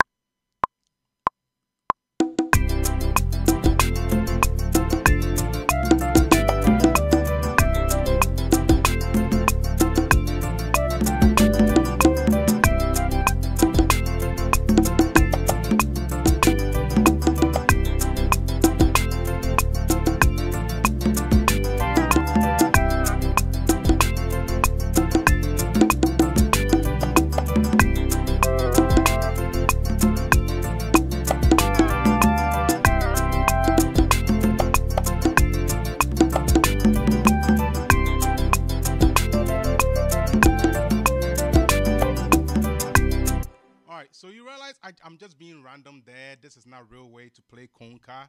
I'm just being very, very practical and random there. Okay, so don't mind the play or anything like that. All right. So that is the first thing. Um, you know, the next thing I'll add in there just to make it a bit more lovely. So the the drum should sound something like this now.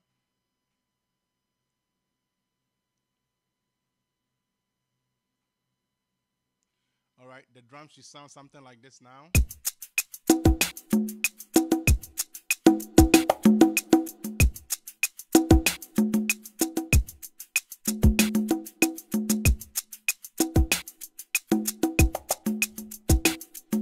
Let me show you another cool trick, okay?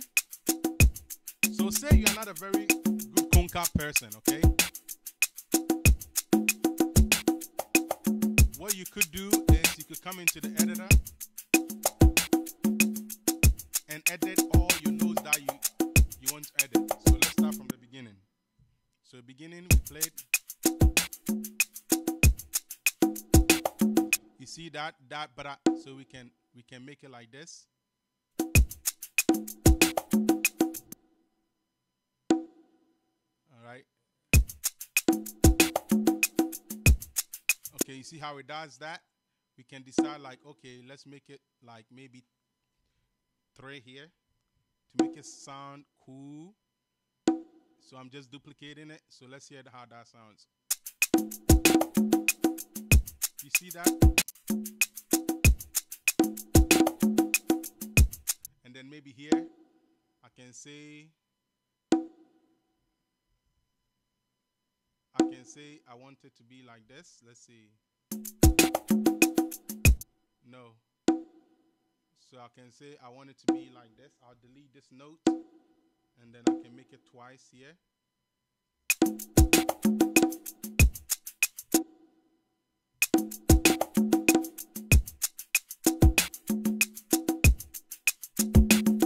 You see over there, eh, boom, boom, boom. I can make it double here,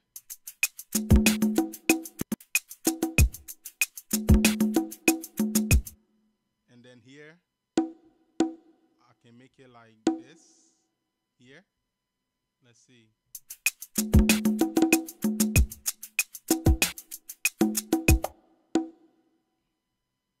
And then here, I can duplicate it.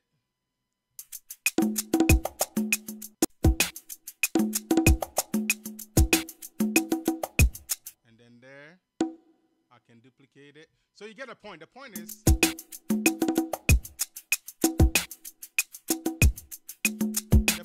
you can edit it as you need, okay? I'm not going to spend time and do all that. So you can go in there and edit whenever you're doing your editing or your engineering, okay? So eh, within a few minutes of programming, we have these drums together.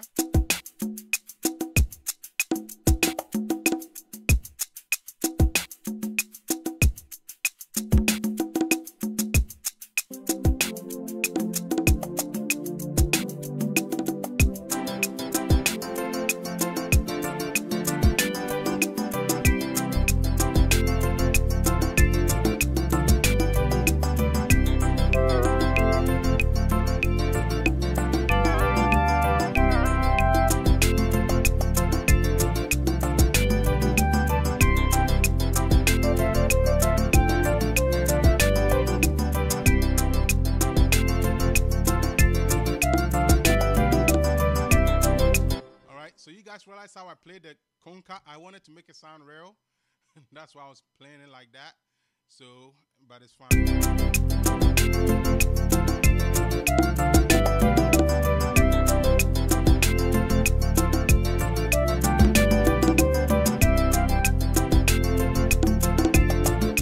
All right. So the point here, the point we are at is now we have this beat. Okay. So now this is what is called programming. Say we were done with the song. We have nine tracks so far. What are tracks? Read the numbers. One, two, three, four. This one is called a track. Two tracks, three tracks, four tracks, all the way to whatever you want. By the time you are done with an average programming, you are going to have somewhere in the 30s. An average programming, depending on what kind of song you are doing, depending on uh, for instance, we're going to add brass. Okay, if you add brass or something like that, you're going to have all these things you have to do. And keep in mind, all these instruments. Okay, let me talk about that. So remember, I told you we are going to do this in multi output. Okay, here, you see, it's in multi multi output. Okay, you see, it's a multi output instrument. So on the track, one of the things you see is the plus all the instruments that have been registered in here are all separate things that you could give its own separate track if you're doing mixing. So let me talk about that real quick. So in here, you realize that when I play, you're going to see the ones I play blinking. You see? So this is blinking. This is blinking. This is blinking and this is blinking. Stereo out. One. This. So you realize now I've sent them, I've, I've mapped it. So what I'm doing now is called mapping. Okay? So what I've done, what I've just done is called mapping. Okay? I'm mapping it. So now that I've mapped it, it's going to correspond to what is at the bottom. So when I, I'm going to just keep clicking plus, plus, plus, plus, plus. You see, you don't hear it anymore, right? You see now only kick is playing. That's because that is still going to one. So I'm going to keep making a lot of channels. Now I'm going to try and find where the others are at. So I found it, that one. That one is a snare. So I can call it snare. And I can find the rest. This one is a kick.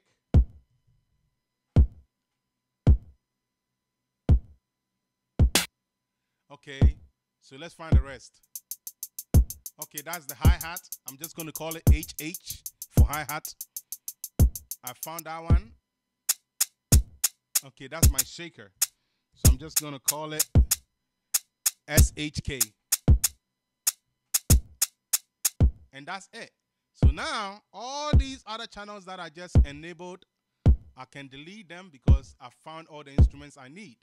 So that is what a multi-output um, um, recording is. If I did a stereo, I wouldn't be able to do it this way.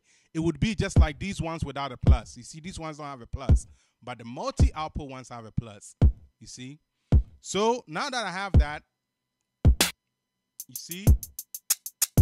So now I can control the mixing of it. That way I can mix it in the way I want it. So that's the only reason why you may want to do it like that for mixing purposes, okay? Say I didn't want this. And yeah, and I may be bem no matter deleting it free I just control it from the mixing. I just take it out. You see that? So that's the whole purpose of why you would do that. You play one time, but you mix it like it's individual. That's the beauty of it, right? It's beautiful. Cool. So let me take all that out and let's go play.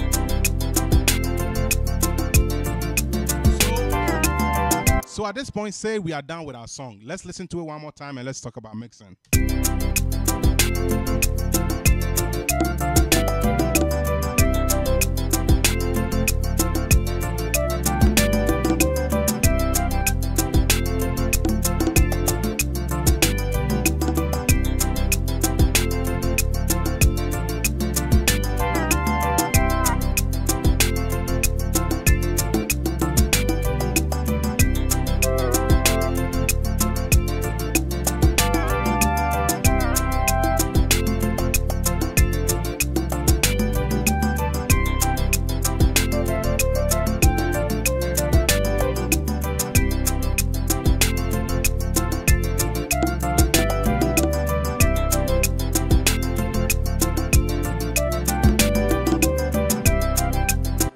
Cool. We got it.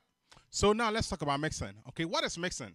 So mixing is saying, okay, I did all this, but it doesn't sound good to me. It sounds kind of a little too bujum. if I say bujum, you understand. A tua boom, a tua boom, no separation, nothing. Okay? So that is when all this will come in. So let's talk about mixing.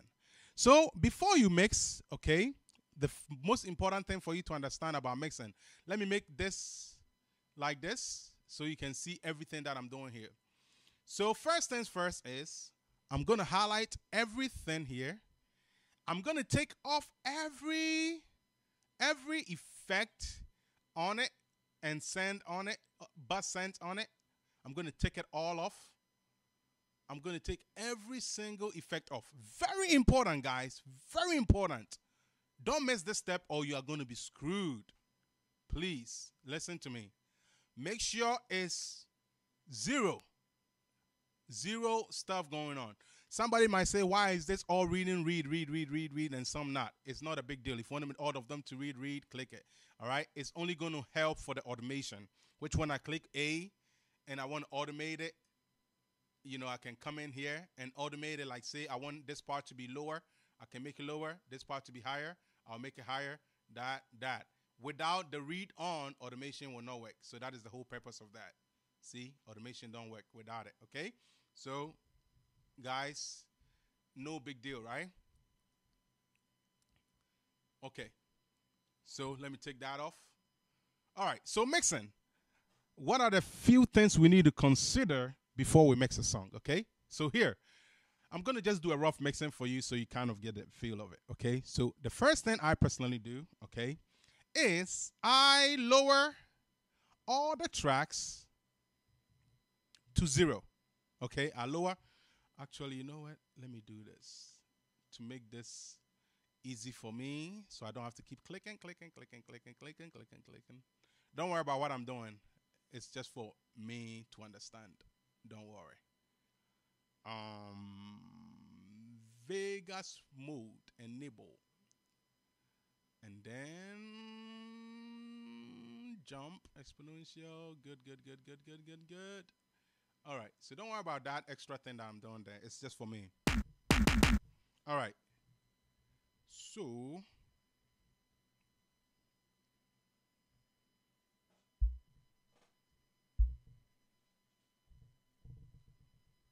Okay, cool. So I just want to be able to control my knobs. That's all. Okay. So with what I'm doing here, what I like to do for mixing is I like to bring all of them to zero. Okay. Everything to zero. Of course, not not my master. My master always stay. Okay, keep in mind, master always keep at zero. Never change that number. Remember that always. Masters keep it at zero. Okay. Delete any effect you haven't created, like we did on the other one. Okay. Only keep what you recorded. Very important. Any additional stuff the system does for you, delete it. You don't need it. So at this point, bring all these to zero, zero, zero, zero, zero, zero. Let it look like how it's looking, okay? And then this to zero, okay? So first things first, when I play, you're not gonna hear anything, okay? I'm just gonna let it keep playing. Oh shoot, I didn't do one. Sorry about that. So here, zero, right? You don't hear anything. That's what you want for mixing. Because if all these numbers are bad, the number here is going to be peaking in red, and that is a bad sign for a mix engineer. So, uh, at this, fir- at, if you have gotten to this point, congratulations, you have learned how to program in Logic or any music DAW. For most music DAWs, it's going to be the same. Okay, so congratulations um, about um for your great accomplishment. So now let's talk about mixing. We're going to mix our kick first. Okay, let's just say we want to mix our kick. The way mixing works is this. We are going to use these, the channel. All these are called channels. On every channel, you have certain amount of things you can do. Let's talk about all these things, okay? For these, this part, you don't need to really worry about it so much. You won't have to do much there. But starting with the EQ, that is where you need to pay attention. The EQ is where you're going to equalize your channels or your inputs. So what is an EQ? So on, on an EQ, you would say that, okay, my kick is a low instrument, okay? So I'm going to let all the lows or a certain amount of lows pass through. Then I'm going to kill maybe my highs, or I'm going to say I want a little bit room of high because I want certain ambience to shoot through the high. So that is where you'll be like, you will be able to control that kind of thing, okay? So that is what the, an EQ is. An ex another example, maybe a hi-hat. It's a high level instrument. A hi-hat is a high level instrument. You might say, oh no, I don't want my hi-hat to have lows in it. So guess what? You will kill your lows and let some of the highs pass through, okay? And so on and so on. So that's what an EQ does, okay? Then a MIDI, if, um, a MIDI effects is um, you know, other things that you may need to do. For instance, if I'm playing a key and I don't know how to play the original key, I will use the transposer and I'll transpose it to however I need to play it and then play that. Okay. So that is what an, a MIDI figure, and you can do all these other stuff on it. Um, I don't worry about that doing sense. At this point, if you're doing mixing, you don't need to worry about MIDI effects. Okay. The only thing you need to worry about is equalization, and then from equalization, okay, audio effects, not MIDI effects, audio effects, okay? At audio effects, okay, what you're going to be doing is you are going to be adding um effects on to to really make it stronger, okay? Not MIDI effects, but audio effects, okay? That is to really control the dynamics of your sound and stuff like that, okay? So that is what you use audio effects to do. Okay? All right? So you use audio effects to do that. All right? Then your sends is where you do your bass sends. Realize I deleted the other ones, so it should be clean now. So you can do your own sends. All right? So in mixing, here are the most important ones you're going to need equalization, your audio effects, your sends for your buses, your bus, your bus um, groups, okay, or and your group if you're ever gonna assign in a group. I don't usually do it, but sometimes you will need to do it based on what you are mixing. Maybe you are, you are mixing drums. You might send all your drums to one group so that you can control the overall sound. That's when you create a group for that. So the way that will work is you highlight, you, you work on all of it all, and then you send all of them to one group and you can call that new. And guess what? All of them are to one group. Okay? And then that can have a separate control for it. Okay? For now, I'm not going to worry about that. Okay? So, the song is playing. We don't hear anything quite yet. So, we're to we're to bring the kick in at a very low level to start off. Okay, don't start at zero. Start at a, maybe at a low level here, somewhere like that. Okay. Then let's start with our equalization. Remember, I said EQ, audio effects, send, and group. Those are the most important things you're going to do. And then, of course, your automation, if you're going to do any sort of automation, automation. So EQ, I come in, my analyzer is showing my low end.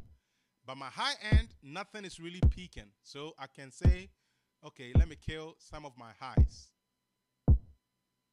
But guess what? It sounds so muddy, right? So I need to let a little room. I may even need something like that, okay? But you decide. So for the purpose of this lesson, I'm going to cut to maybe 2K, okay? And I can decide to leave it like that. Or I can decide to cut a little bit of the low here. Okay.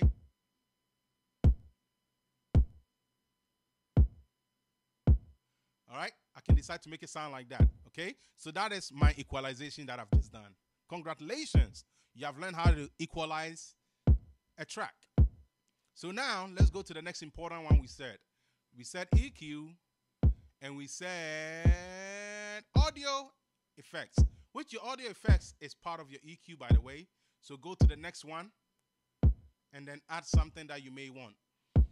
I'm just gonna go straight to the point and tell you what I use. I use Waves to master and mix and master. Okay, so you may come to your compressor. Uh oh, it's being slow right now because I'm streaming. So forgive me for that. I'm streaming, so it's being slow. So you can you may come to your compressor and pick a compressor. All right. And I'm not going to be able to tell you how this all works. You would have to take your time to learn. But I'm going to give you the idea, okay? The idea here is if you're going to add a compressor, make sure it's not hitting the red. Watch. If they start blinking, that means you're having distortion. Watch. You realize that? And you should be hearing bad sound on your on your side, okay? So don't just boost it just because it's a compressor. Okay, be careful. So here's how a compressor works. The threshold, if it's sitting at the top, that means you want every single sound to pass through. Every single, every possibility. You don't want to cut anything. Okay? So it will say at 100, or sorry, at 1, cut this. At whatever, cut this. Okay? So that's how it, it, it works with this compressor. Of course, you can use the light, whichever one you are familiar with. For me, I like the Legacy because that is the original that I learned with. So I always like to keep it the same. You can go with the new looks, however you like. Um, like I said, for me, I go with the Legacy because that is simply what I like to use. Okay? So here. So for a kick, I don't think I want to cut much because the more I cut, it becomes softer right? Okay, the more I cut, it becomes softer. I could say I want to cut. I want to cut.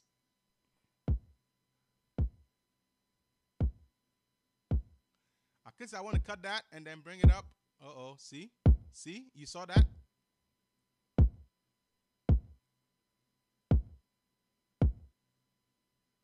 So at this point, I'm trying to clean up the mix.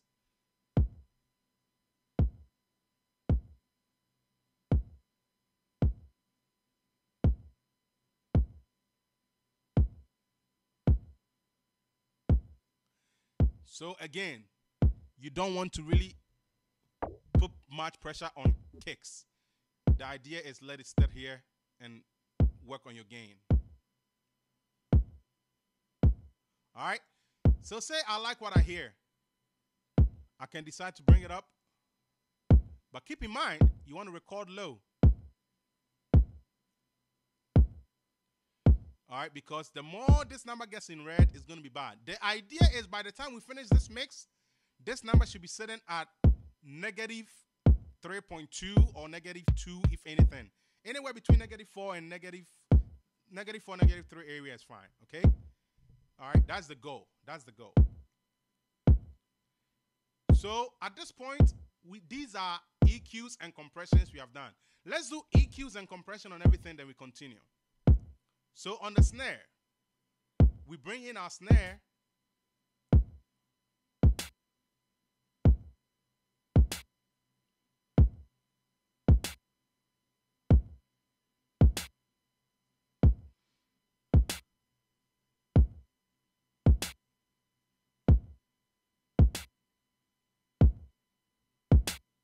All right. Say we are we want to do equalization on snare. We can also go to the equalization, double click it. Now, I'm not going to be able to really do a true mixing here, so bear with me. You see the peaks? This region has a little look at it. Look look at the shape. So you're going to have to try to imitate that by cutting whatever you need. Okay, so an example, sorry guys, an example will be here, cutting it.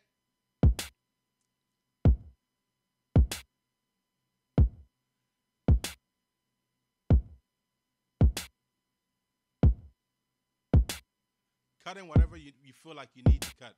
Okay? So that is the whole idea of equalization. Cut out what you think you don't need. Now, of course, in you don't need your bass.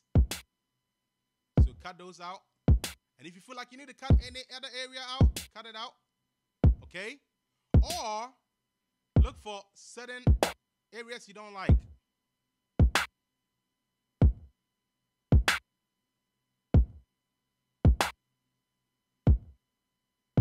Say I don't like this. I can cut it out over there.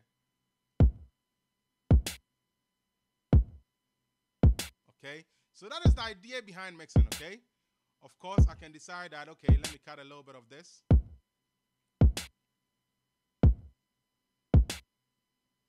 So without equalization, it sounds like this.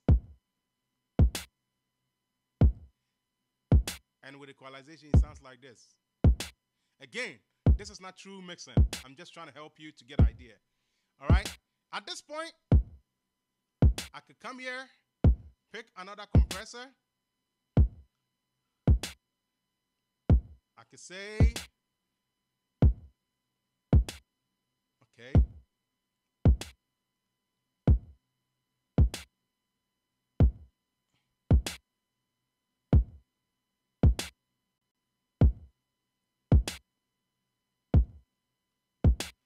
Realize I'm not messing with the attack and release, right? Because I don't want to spend too much time on the compressor, so that's why I'm not talking about it. But you do it based on the level of um, um, the, the level of softness you want it to be and also the time okay to, to control the time of compression okay or the duration of the compression. So that's why you use something like that. All right see at this point i have this at a level i want. That is equalization and compression. Right i'm gonna go i'm gonna go fast between all of the rest. Hi-hat I soloed it. Say I want to hear it and the kick.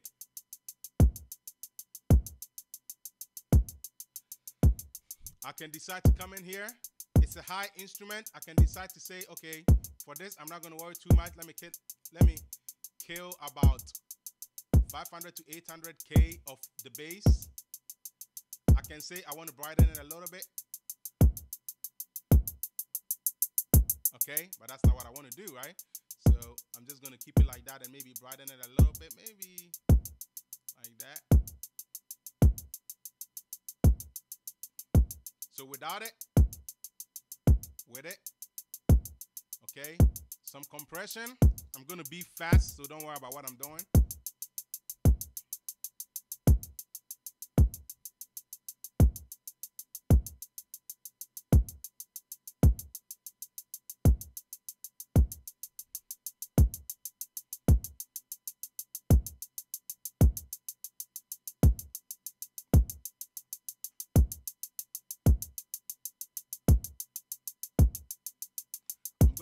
Fast with what I'm doing to make it quicker. My shaker.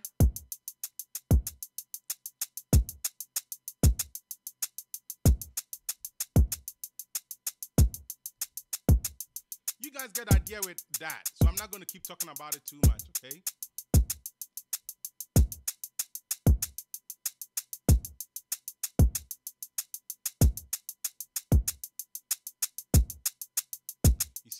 See it's peaking, right? It's bad.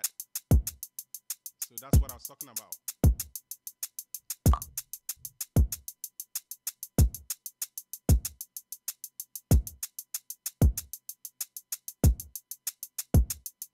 All right. So this shaker is the same thing as this remix shaker. So I'm just to mix them together.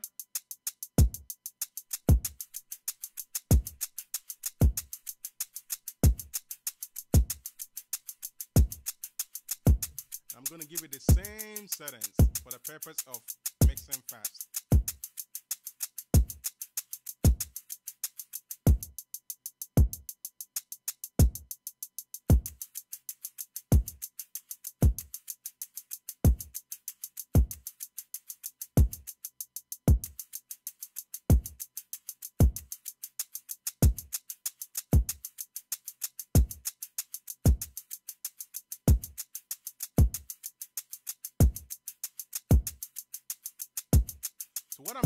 Called panning.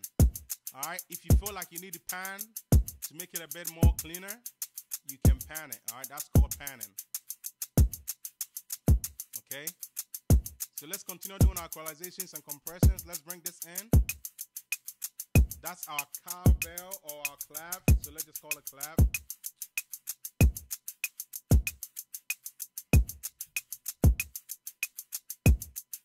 I'm just doing quick mixing, so don't worry.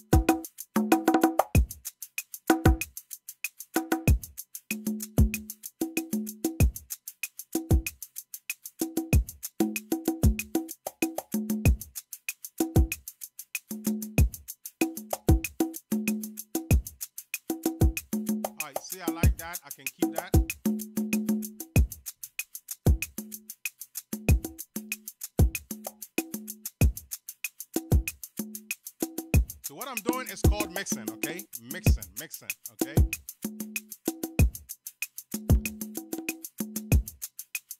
So we did programming, now we are doing mixing. The first one we did was called programming. This one we are doing is called mixing. So I can say I want to mix all this in, but I don't have the time to really take time. So for now,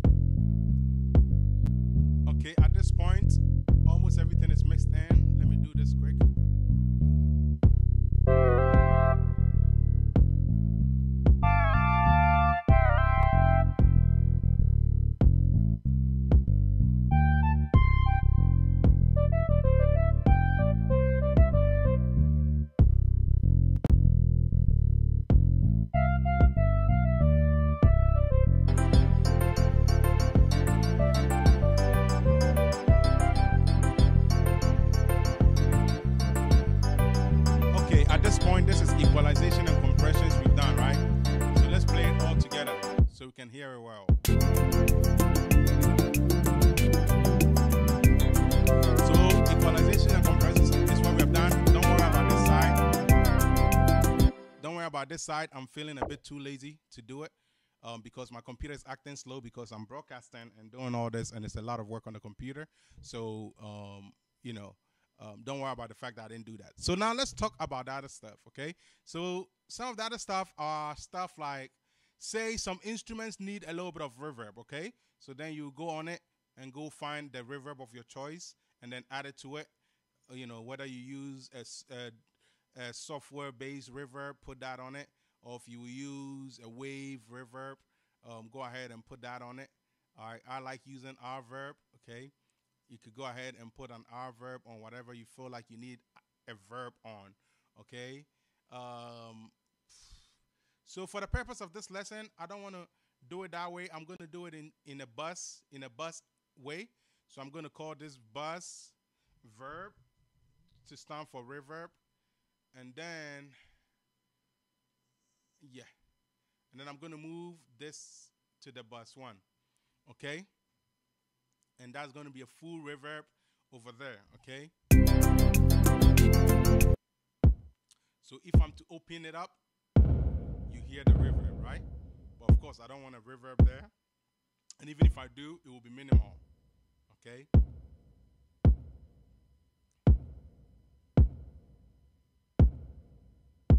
Okay, if I wanted, it will be minimal. Then the snare, if I wanted a, some form of reverb, See, I wanted a reverb on all the drums. Let's just say that.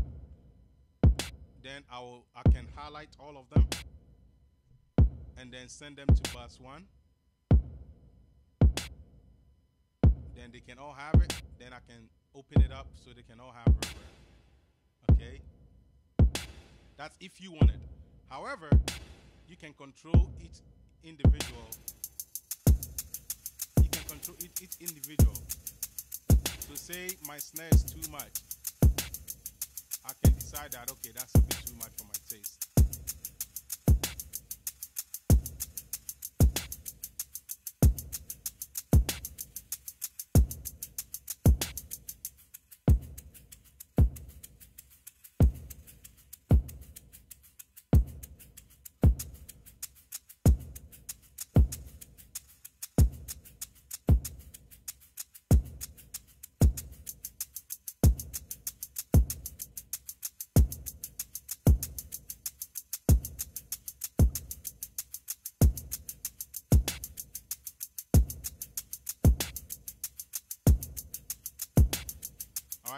Again, this is not a real processing. I just want to give you the idea, okay? So at this point, I have reverbs on the drums, okay? So let's see how that all sounds together.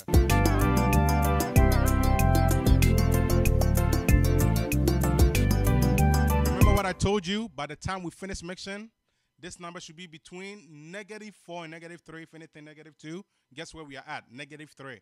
That is what you want in mixing, okay? Don't go in the reds, don't go in the yellows, okay? This is what is called clean mixing. So pay attention to this number. Anytime it goes to the red or it starts getting in the yellows, that means we are doing a bad job right now. So we have to lower it, okay? So pay attention to that number all the time. See, we are negative 4 right now. And that is very good. It goes to negative 3. The more it goes higher, it's going to be bad.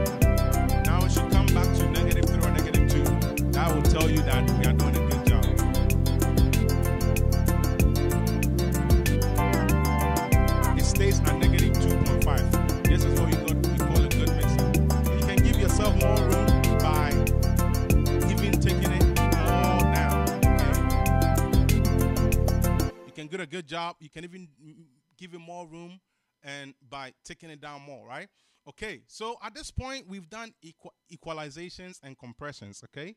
And then I just added some random verbs to it, okay? At this point, if you have gotten to this stage, you've really gotten, let's say, 60% of the mixing work done if you have gotten to this stage, okay? So at this point, we have this thing here.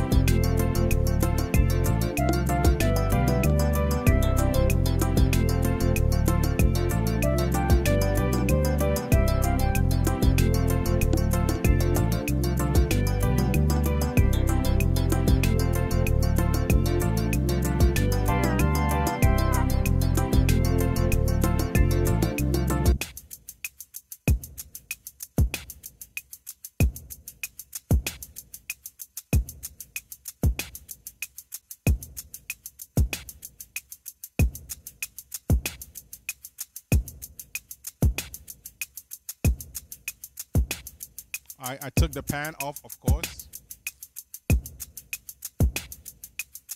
You would have to understand the concept of panning, okay?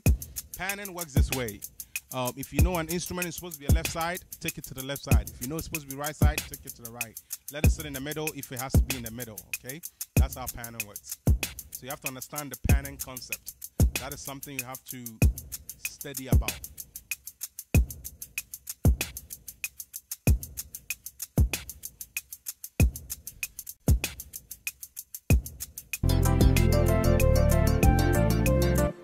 Point, if we are happy with what we've done, that is called a job done. So now at this point, the way you would bounce out your project, say that everything is done, the vocals, everything is done, you're ready to bounce out your project. Go to File, go to Bounce, and click Entire Project, and realize I have the loop on. That is because I want to bounce out a specific region. Bounce out in PCM, never do MP3 if you are going to be using it for mastering work okay? Then send it um, send the wave to 30, 32 bit float or 24 24 i prefer um, for easy workflow okay? Then from here i'm going to okay all these settings wave is fine 24 bit is fine 44 100 is fine uh, interleaved is fine dithering none that's okay. Real time means it's gonna play back while it's bouncing don't do it just leave it offline. It's no point. Normalize, please keep it off. Don't no point of extra additional gain. Keep it simple. All right. At this point, you're ready to bounce out your mix. Okay. So this is your mix. So we're gonna call this mix. Okay. And then we're gonna bounce it out. So now that that is bouncing out, we'll be able to get an, a file that will that will that will be ready for mastering. So if you were taking it to another mastering engineer, you send that file to the mastering engineer, okay? So let's just say I like what we've done. I don't want to lose it, okay, which I'm going to delete anyways, but for the purpose of the lesson, I'm going to say reggae class, reggae class, okay? And I'm going to save that. I'm going to delete. I don't, I don't need it, but for the purpose of um, what I'm trying to teach. Okay? So at this point, we have our mix here, okay? So I'm going to open another logic file. I'm going to open a new one. And I'm going to open audio, okay? And from here, I'll pick my desktop and go ahead and add my mix file in. I'll import it in, set my loop region, okay, and then we'll master. Now, one of the things for you to consider in mastering is it's good to use a reference, okay? So use a reference track so you can get the right stuff, okay? So at this point, if I'm here, I want to get the, the song to the best level. That is why I'm here, okay?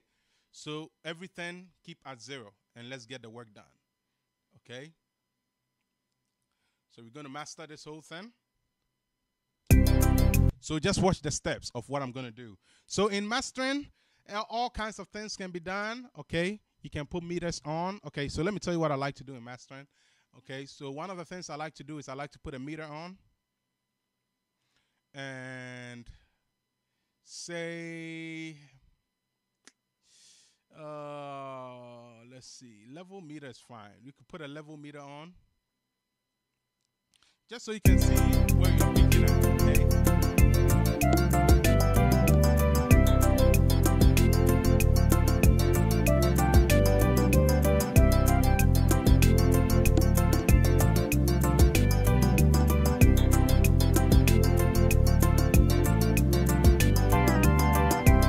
The idea is whatever you do, try not to go above 20, um, zero. That's all I will say for now. Try not to go above zero. That's the idea. Okay. So set put on your that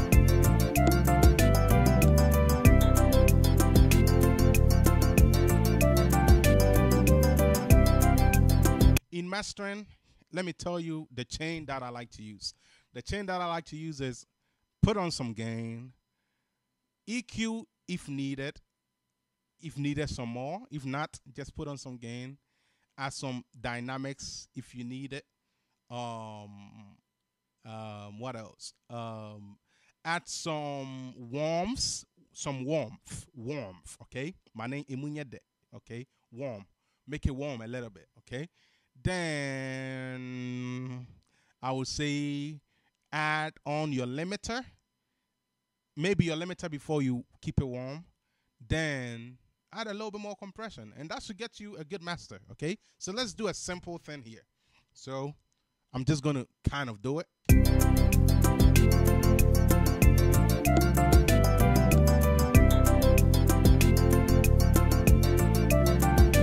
At the same time, it's good to keep your you can have all these on, but also it's good to look at these bars also, okay? Very important.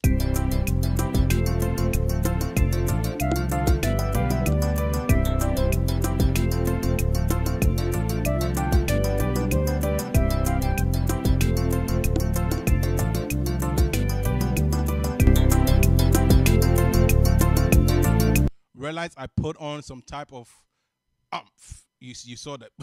okay, you saw that, right? So one more.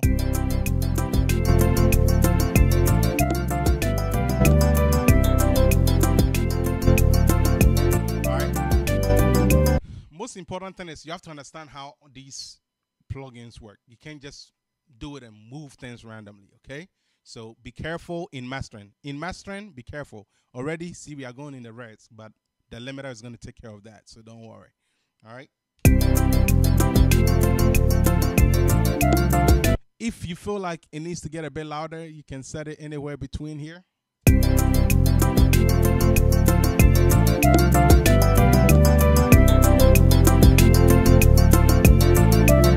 But for what I'm shooting for, I don't need it. I may even need to lower it, so it's fine.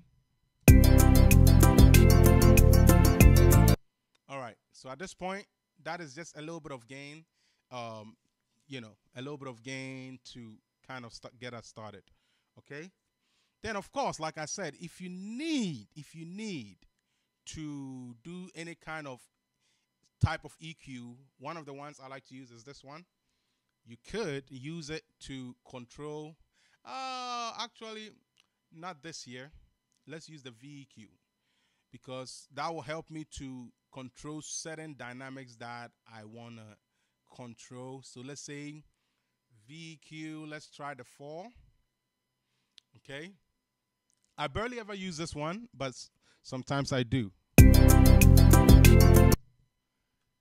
And keep in mind, the chain is getting thicker. So whatever you don't need, take it off and keep it clean. All right. The mastering chain. This is what is called mastering chain. All right. So let's look at it.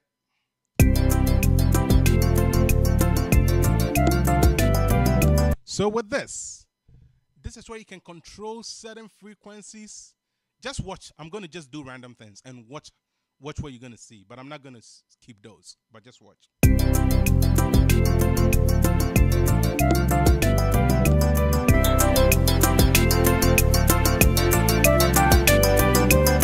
You realize the highness in it? So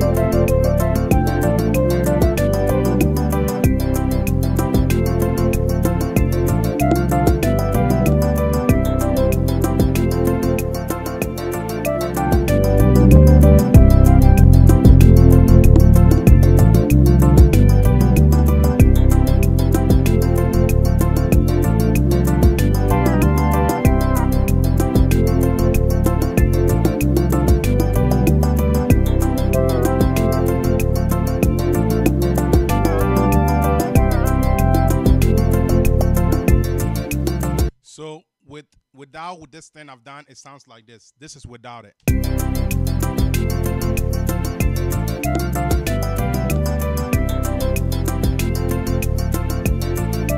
This is with it.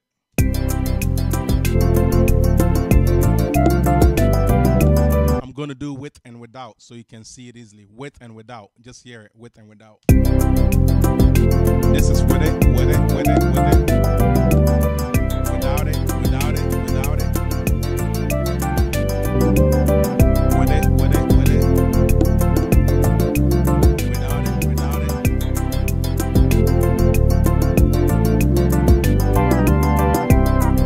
Say we like that, we keep it. But keep in keep in check of something. What are the things we are looking for?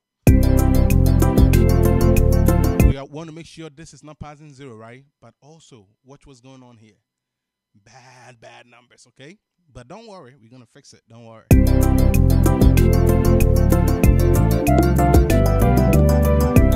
At this point, let's just say we want to go ahead and just add our limiter. All right, I'm just gonna pick my one of my limiters I like to use. So if you go to your limiters, um, there's all kinds of limiters you could use. Okay, I like to. Some people don't like multi-band compression. Um, for me, I don't have any problem with it based on what song I'm doing. For the purpose of this lesson, I'm going to just go ahead and use one of those. So let's use the. Uh, let's see. Let me see the L3 real quick. L3. No, no, no, no, no. I don't want to use this. So you got to just pick the best limiter um, that fits your song. Okay. So it's not just don't just pick anything random. Pick the best limiter for your song. Yeah, this one is a good one. Okay, L3 Maximizer here. That's a good one. Um, I'm gonna go for the L16, whatever. Um, where is that at? Come on. Um, the L16. There you go. I'm gonna go for. Yeah, I'm gonna go for that for this mix. Let me go for the L16 for for this mix. Okay. So watch what the limiter does. Okay. So watch. Realize something. You realize that we are peaking at four negative um 4.6, which is kind of bad. The limiter is going to limit it to whatever you set. If you set your output ceiling to zero, it's going to limit it to zero. Meaning, whenever it hits zero, everything is going to get pushed down. It won't let anything pass it. Okay, so that's what that is, and then your threshold will will set the the loudness of it. Okay, so the more you come further down, the louder it's going to get. Okay, so when it hits zero, this threshold is going to react. Zero react. Okay. So that's kind of how that works. Okay. As far as these settings here, you could decide to turn it all off. Um, none, none, none, and none if you want. If you don't want any shaping, that is when the song goes like. If, if, there's any silent, it goes like. Okay, that noise. Okay, if you don't like it, just just turn these off. Okay because it's going to help control that, okay? And that is the IDR. The moment you turn it on, it lights on, okay? Or normal, okay? So for now, uh, you could leave it both off for now for this limiter and just watch what the limiter does, okay? It's going to make it louder. At the same time, it's going to control that peak so that it doesn't go bad. So while we are using the limiter, let's keep an eye on all the other ones we are doing. That way, we can control certain parameters that we might not be happy with. Okay, so these are all that we have loaded. We have the level, we have the CLA2, we have the VEQ, and then we have the L3. Okay, so let's go ahead and and and and work on the um I said L3 um L316 okay? So let's go ahead and bring that in and let's see how. And watch all the levels. Oh actually I blocked something. Sorry guys. We cannot block we cannot block these bars because we have to be able to see everything. So yes there you go. So here. So keep an eye on this number here. Keep an eye on what we are watching for here. At the same time, keep an eye on this region here.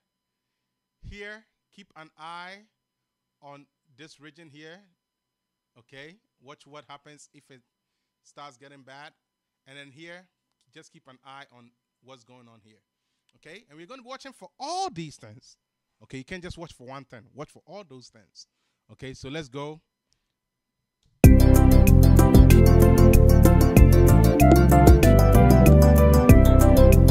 So the first thing is we are going to limit it to zero so that we can see how it sounds anyways and then bring it up and then we can. So first things first, let's set the output ceiling to zero, clean it up to the level we want and then do the tweaks we need. If we need to lower certain things to get it clean as possible, whatever we have to do. Okay, then we're going to make it a bit warm. And then I think from there we should have a good mix. Okay, so let's let's check that out.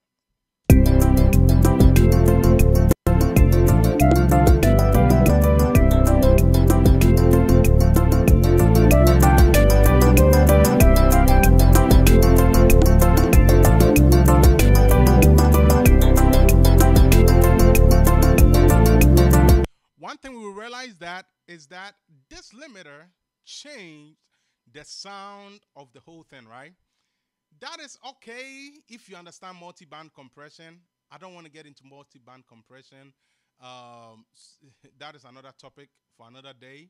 So for now, let's use L2 to keep things simple. Yes, let's use L2.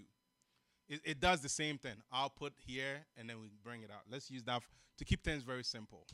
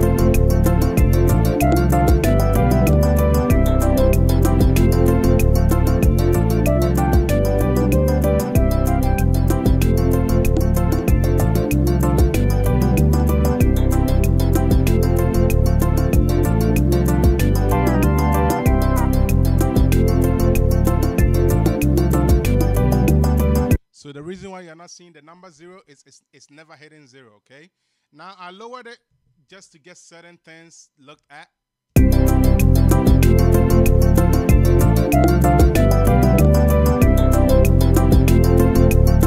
Of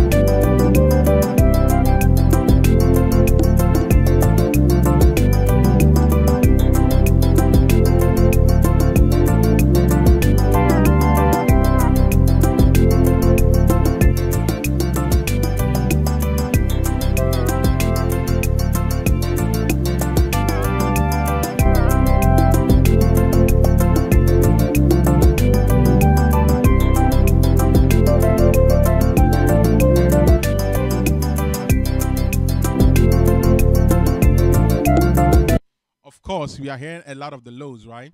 So there's ways we can control it if we feel like we need to use the multi-band compression to do that or use maybe a regular equalizer to kind of just clean that up a little bit. So the way we'll do it is this way. So watch what I'm going to do.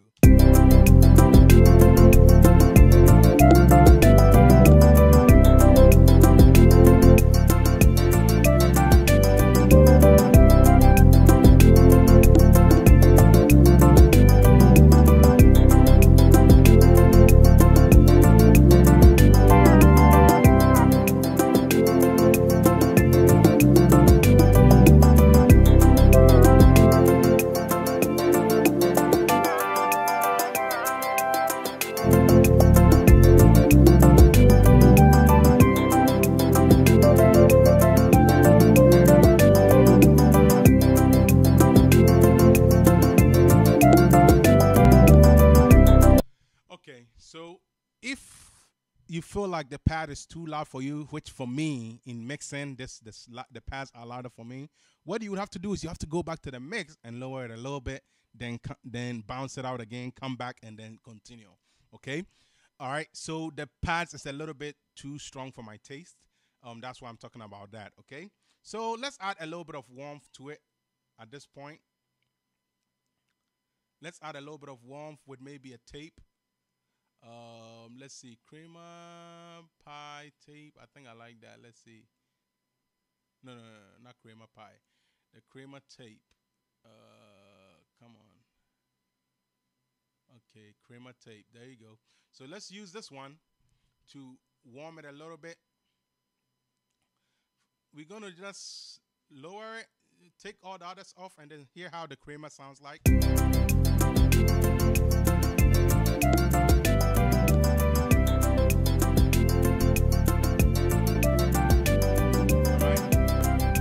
If you don't know how to use a Kramer tape, just use a preset that works for you, which is what I'm going to do because I don't want to spend time trying to clean it up as best as possible.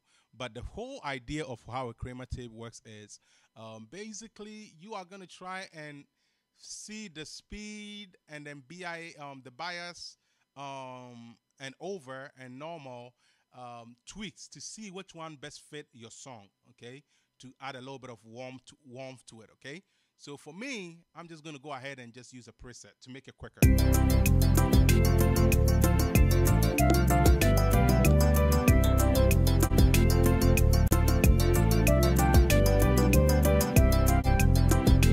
All right. So you guys probably don't realize, but I'm hearing already, it's making it very warm. Without it, this is how it sounds.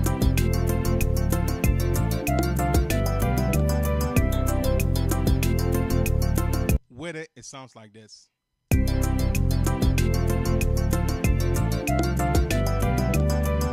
All right, so that is very warm for me.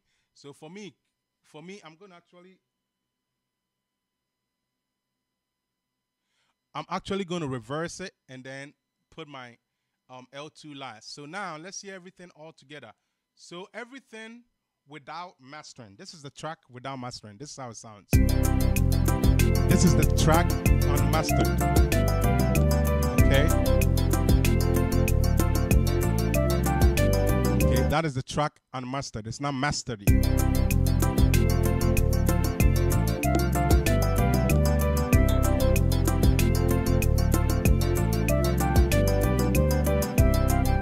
All right, and then here's the mastered. I'm just going to turn on all the plugins so that way you hear the mastered version.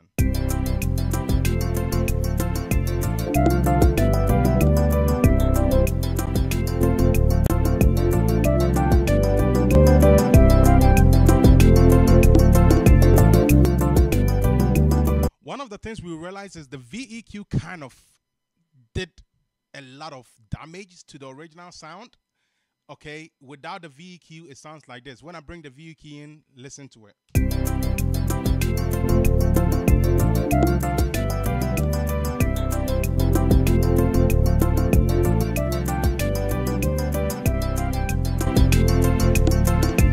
All right, so I'm only using the VEQ to make it sound a bit thicker. So that's kind of why I did that. Um, I did it that that effect. Um, so again, be careful how you are um, how you are using it. Okay, be very very very careful how you are using. It. Of course, if you don't know how to do it, always there are presets. Go ahead and learn how to use um, those presets. Okay, but I'll tell you learn how to work these. Okay, the way it works is this from here to here deals with more of the low end, okay? And then this right here, no, sorry, this two here deals with more of the low end. This two here deals with more of the low frequencies, uh, sorry, mid frequencies, okay? And then this right here deals with the high frequencies, okay? So you have to just understand how it works and, you know, mess with some of the tweaks and see what best fits you, okay? I don't have time to do all that, so that's why I made a very simple tweak, okay? So we see that the VEQ is really what is changing the sound. Because keep in mind, I'm gonna let it all play. I'm gonna put all of it without the VEQ and watch it. It will almost play almost the same sound. So watch.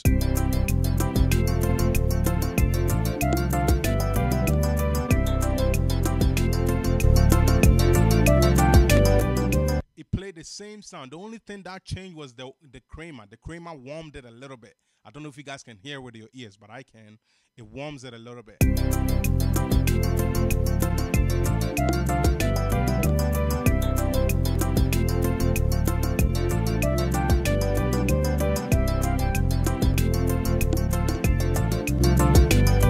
Okay, and then the VEQ on.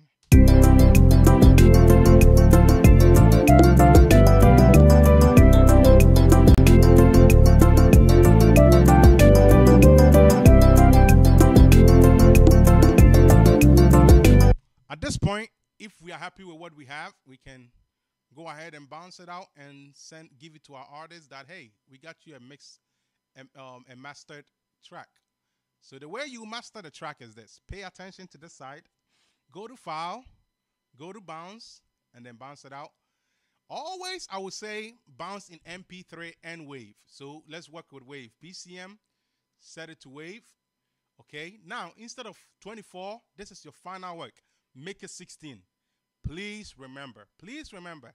16 bit for your final master. 16, 1 6, 16, 16, 16, 16 bit for your final master. Don't you dare ever do anything else other than 16. Please, please, please, please. All right. So for your final master, for your wave, make it 16. And then your sample rate, keep it there. And then um, that's about it. Then your MP3, just get it to the highest, um,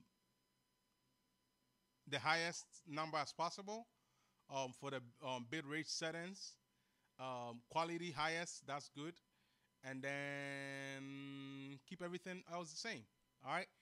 That's what I'll tell you to do for your final master. Okay. So that way you can have an MP3 version and a WAV version for different purposes that you may need it for. Okay.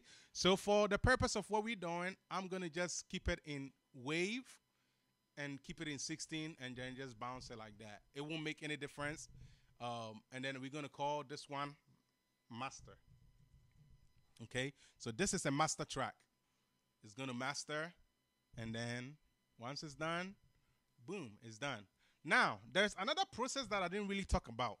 Okay, if you want to kind of do a process that will help on mono devices, another thing I can tell you to consider doing is do one bus send. Okay, this is a trick that um, not everybody knows, but let me teach you. Do one bus send. Instead of making the bus a stereo, make it a mono. Click on it to make it a mono. Okay, and then on that bus, put on another type of limiter, maybe the L1 limiter, and make it mono. And then, and then mix it in. Okay, so the way you mix it in is you can send a little bit of the feed. Um, so let, let's play it and hear it.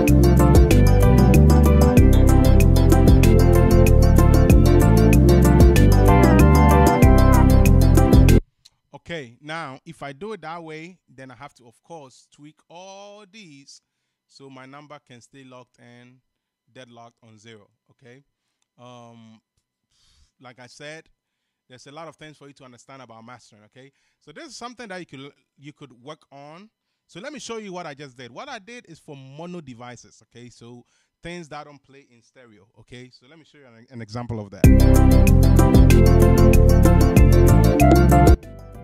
You see, that is playing stereo, not, I'm sorry, mono, not stereo. So what you're hearing, that's called stereo, uh, mono. So you mix it in a little bit so that it can be good on mono devices, okay? But don't let it come and affect your mix, right? So you mix it in a little bit, mix it in a little bit.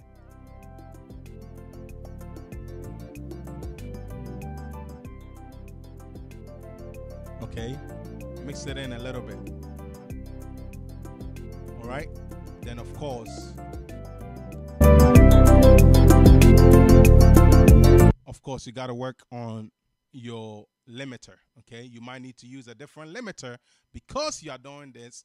You might need, you might say, okay, let me use a different limiter. Maybe let me try one of the multi um, uh, multi band limiters, maybe the Ultra or the um, L3.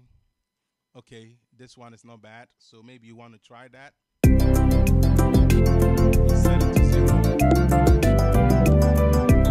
It's still kind of peaking. It tells you that your mix is not really good. It tells you that the mastering is not good. So you gotta tweak all those until it can it can really work. Okay, so let's tweak those.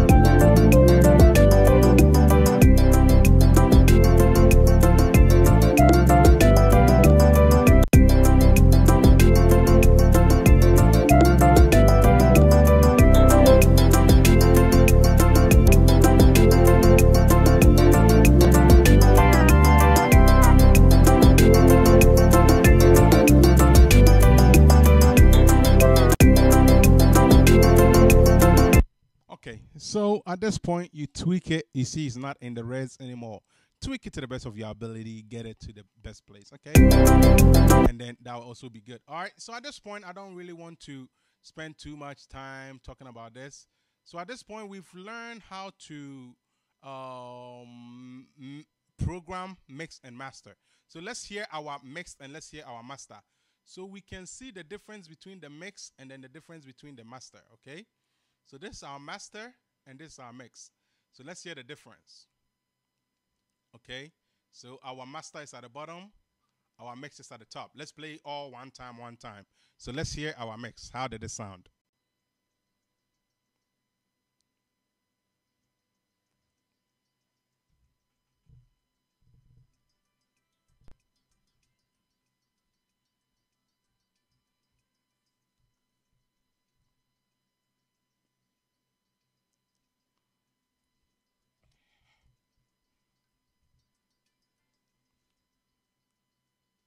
Right. Obviously, the mix, um, the the the mix is a bit softer, right?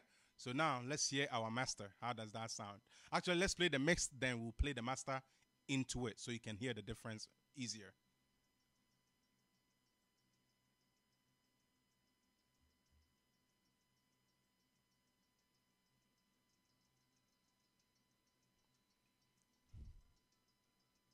Realize how that one just came right in your face like boom.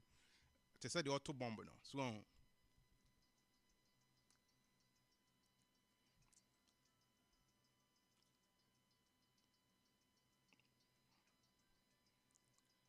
So that one is a master. Now listen to the mix. Master.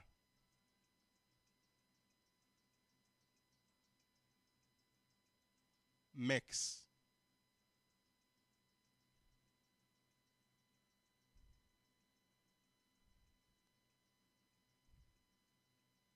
Master.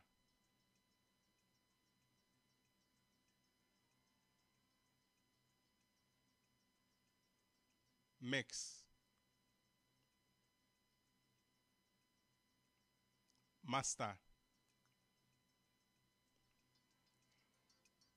All right, so I'm gonna leave you guys here.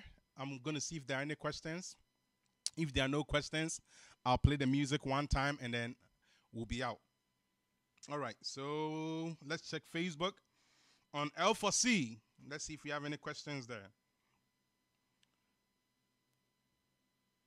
Okay, Malam phone no. Okay, cool.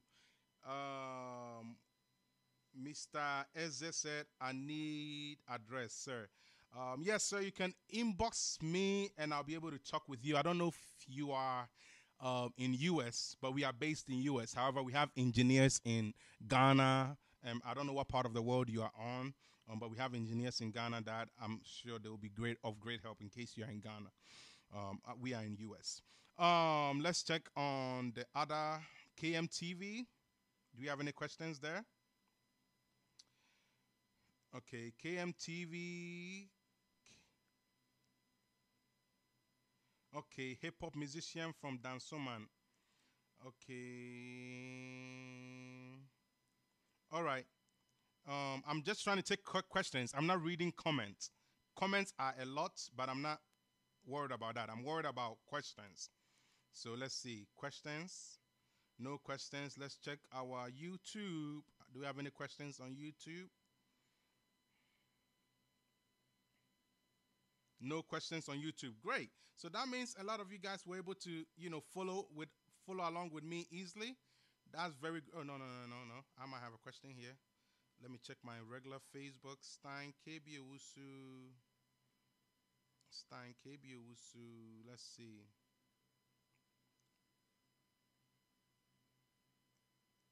Powerful, powerful, powerful. No. Okay, so that's a comment. I want questions. Okay. So no questions. Great. Great, great, great, great. Okay, great. No questions. So that will do it, guys. Um, I hope you guys have been blessed. Let's play the master. Um, let's play the mastered one one time through for 40 seconds, and then um, let's actually let's do this. Let's play the mix um, mix one for mix one for the whole 40 minutes, and then the master for the whole 40 minutes. Then I'll leave you. Okay. So here is the mix one. Before I let you go, let me also ch- let, let me do this right now before I forget. Before I forget, let me let, me go ahead. Let me go ahead and do this.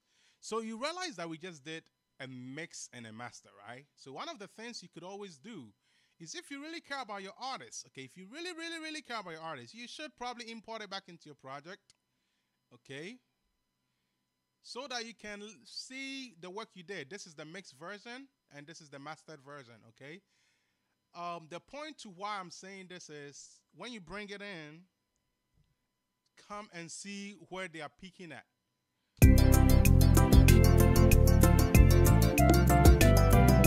Your mix is peaking at uh, negative 3.9, which is perfect, exactly where I like it to be. 4, 3, 2. Okay, let's hear our master. Where's that peaking at? Is at zero. The moment it goes over zero, you have a bad mixing. It shouldn't go over zero.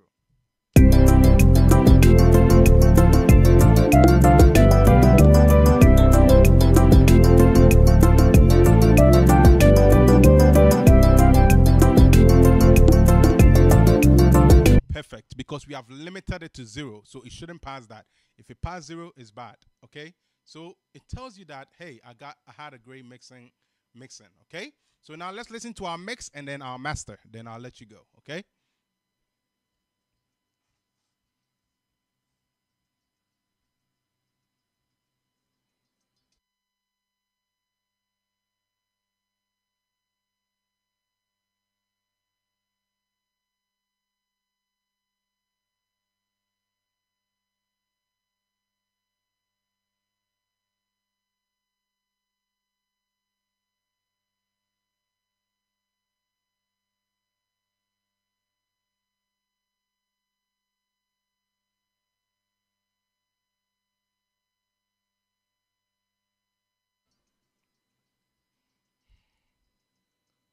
All right, finally, our master. Then this is it.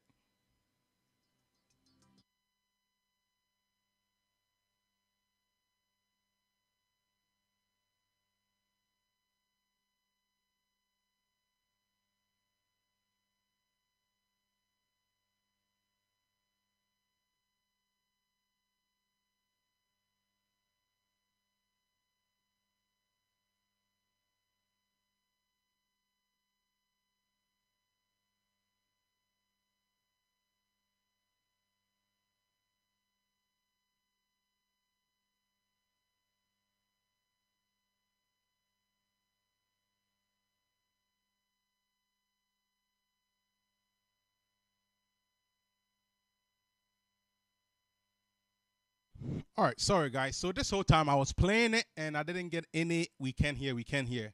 So let me fix that. I have my sound set to the door. I would have to add my let's see. Um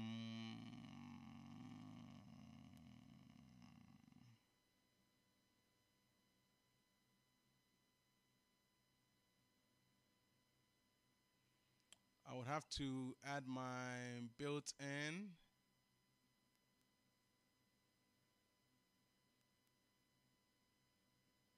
so let me see yeah oh sorry I know why okay so I didn't add my my QuickTime that's what it is that's what it is there you go um I'm I'm I'm listening to it I'm like okay you guys can't even hear me QuickTime there you go so now when I play, it should come. There you go. Perfect. So we're going to do this all over. We're going to play the mix first, then we're going to play the master first, okay? So let's hear the the um the mix, the mix one, okay? We're going to do mix first, okay? Here we go.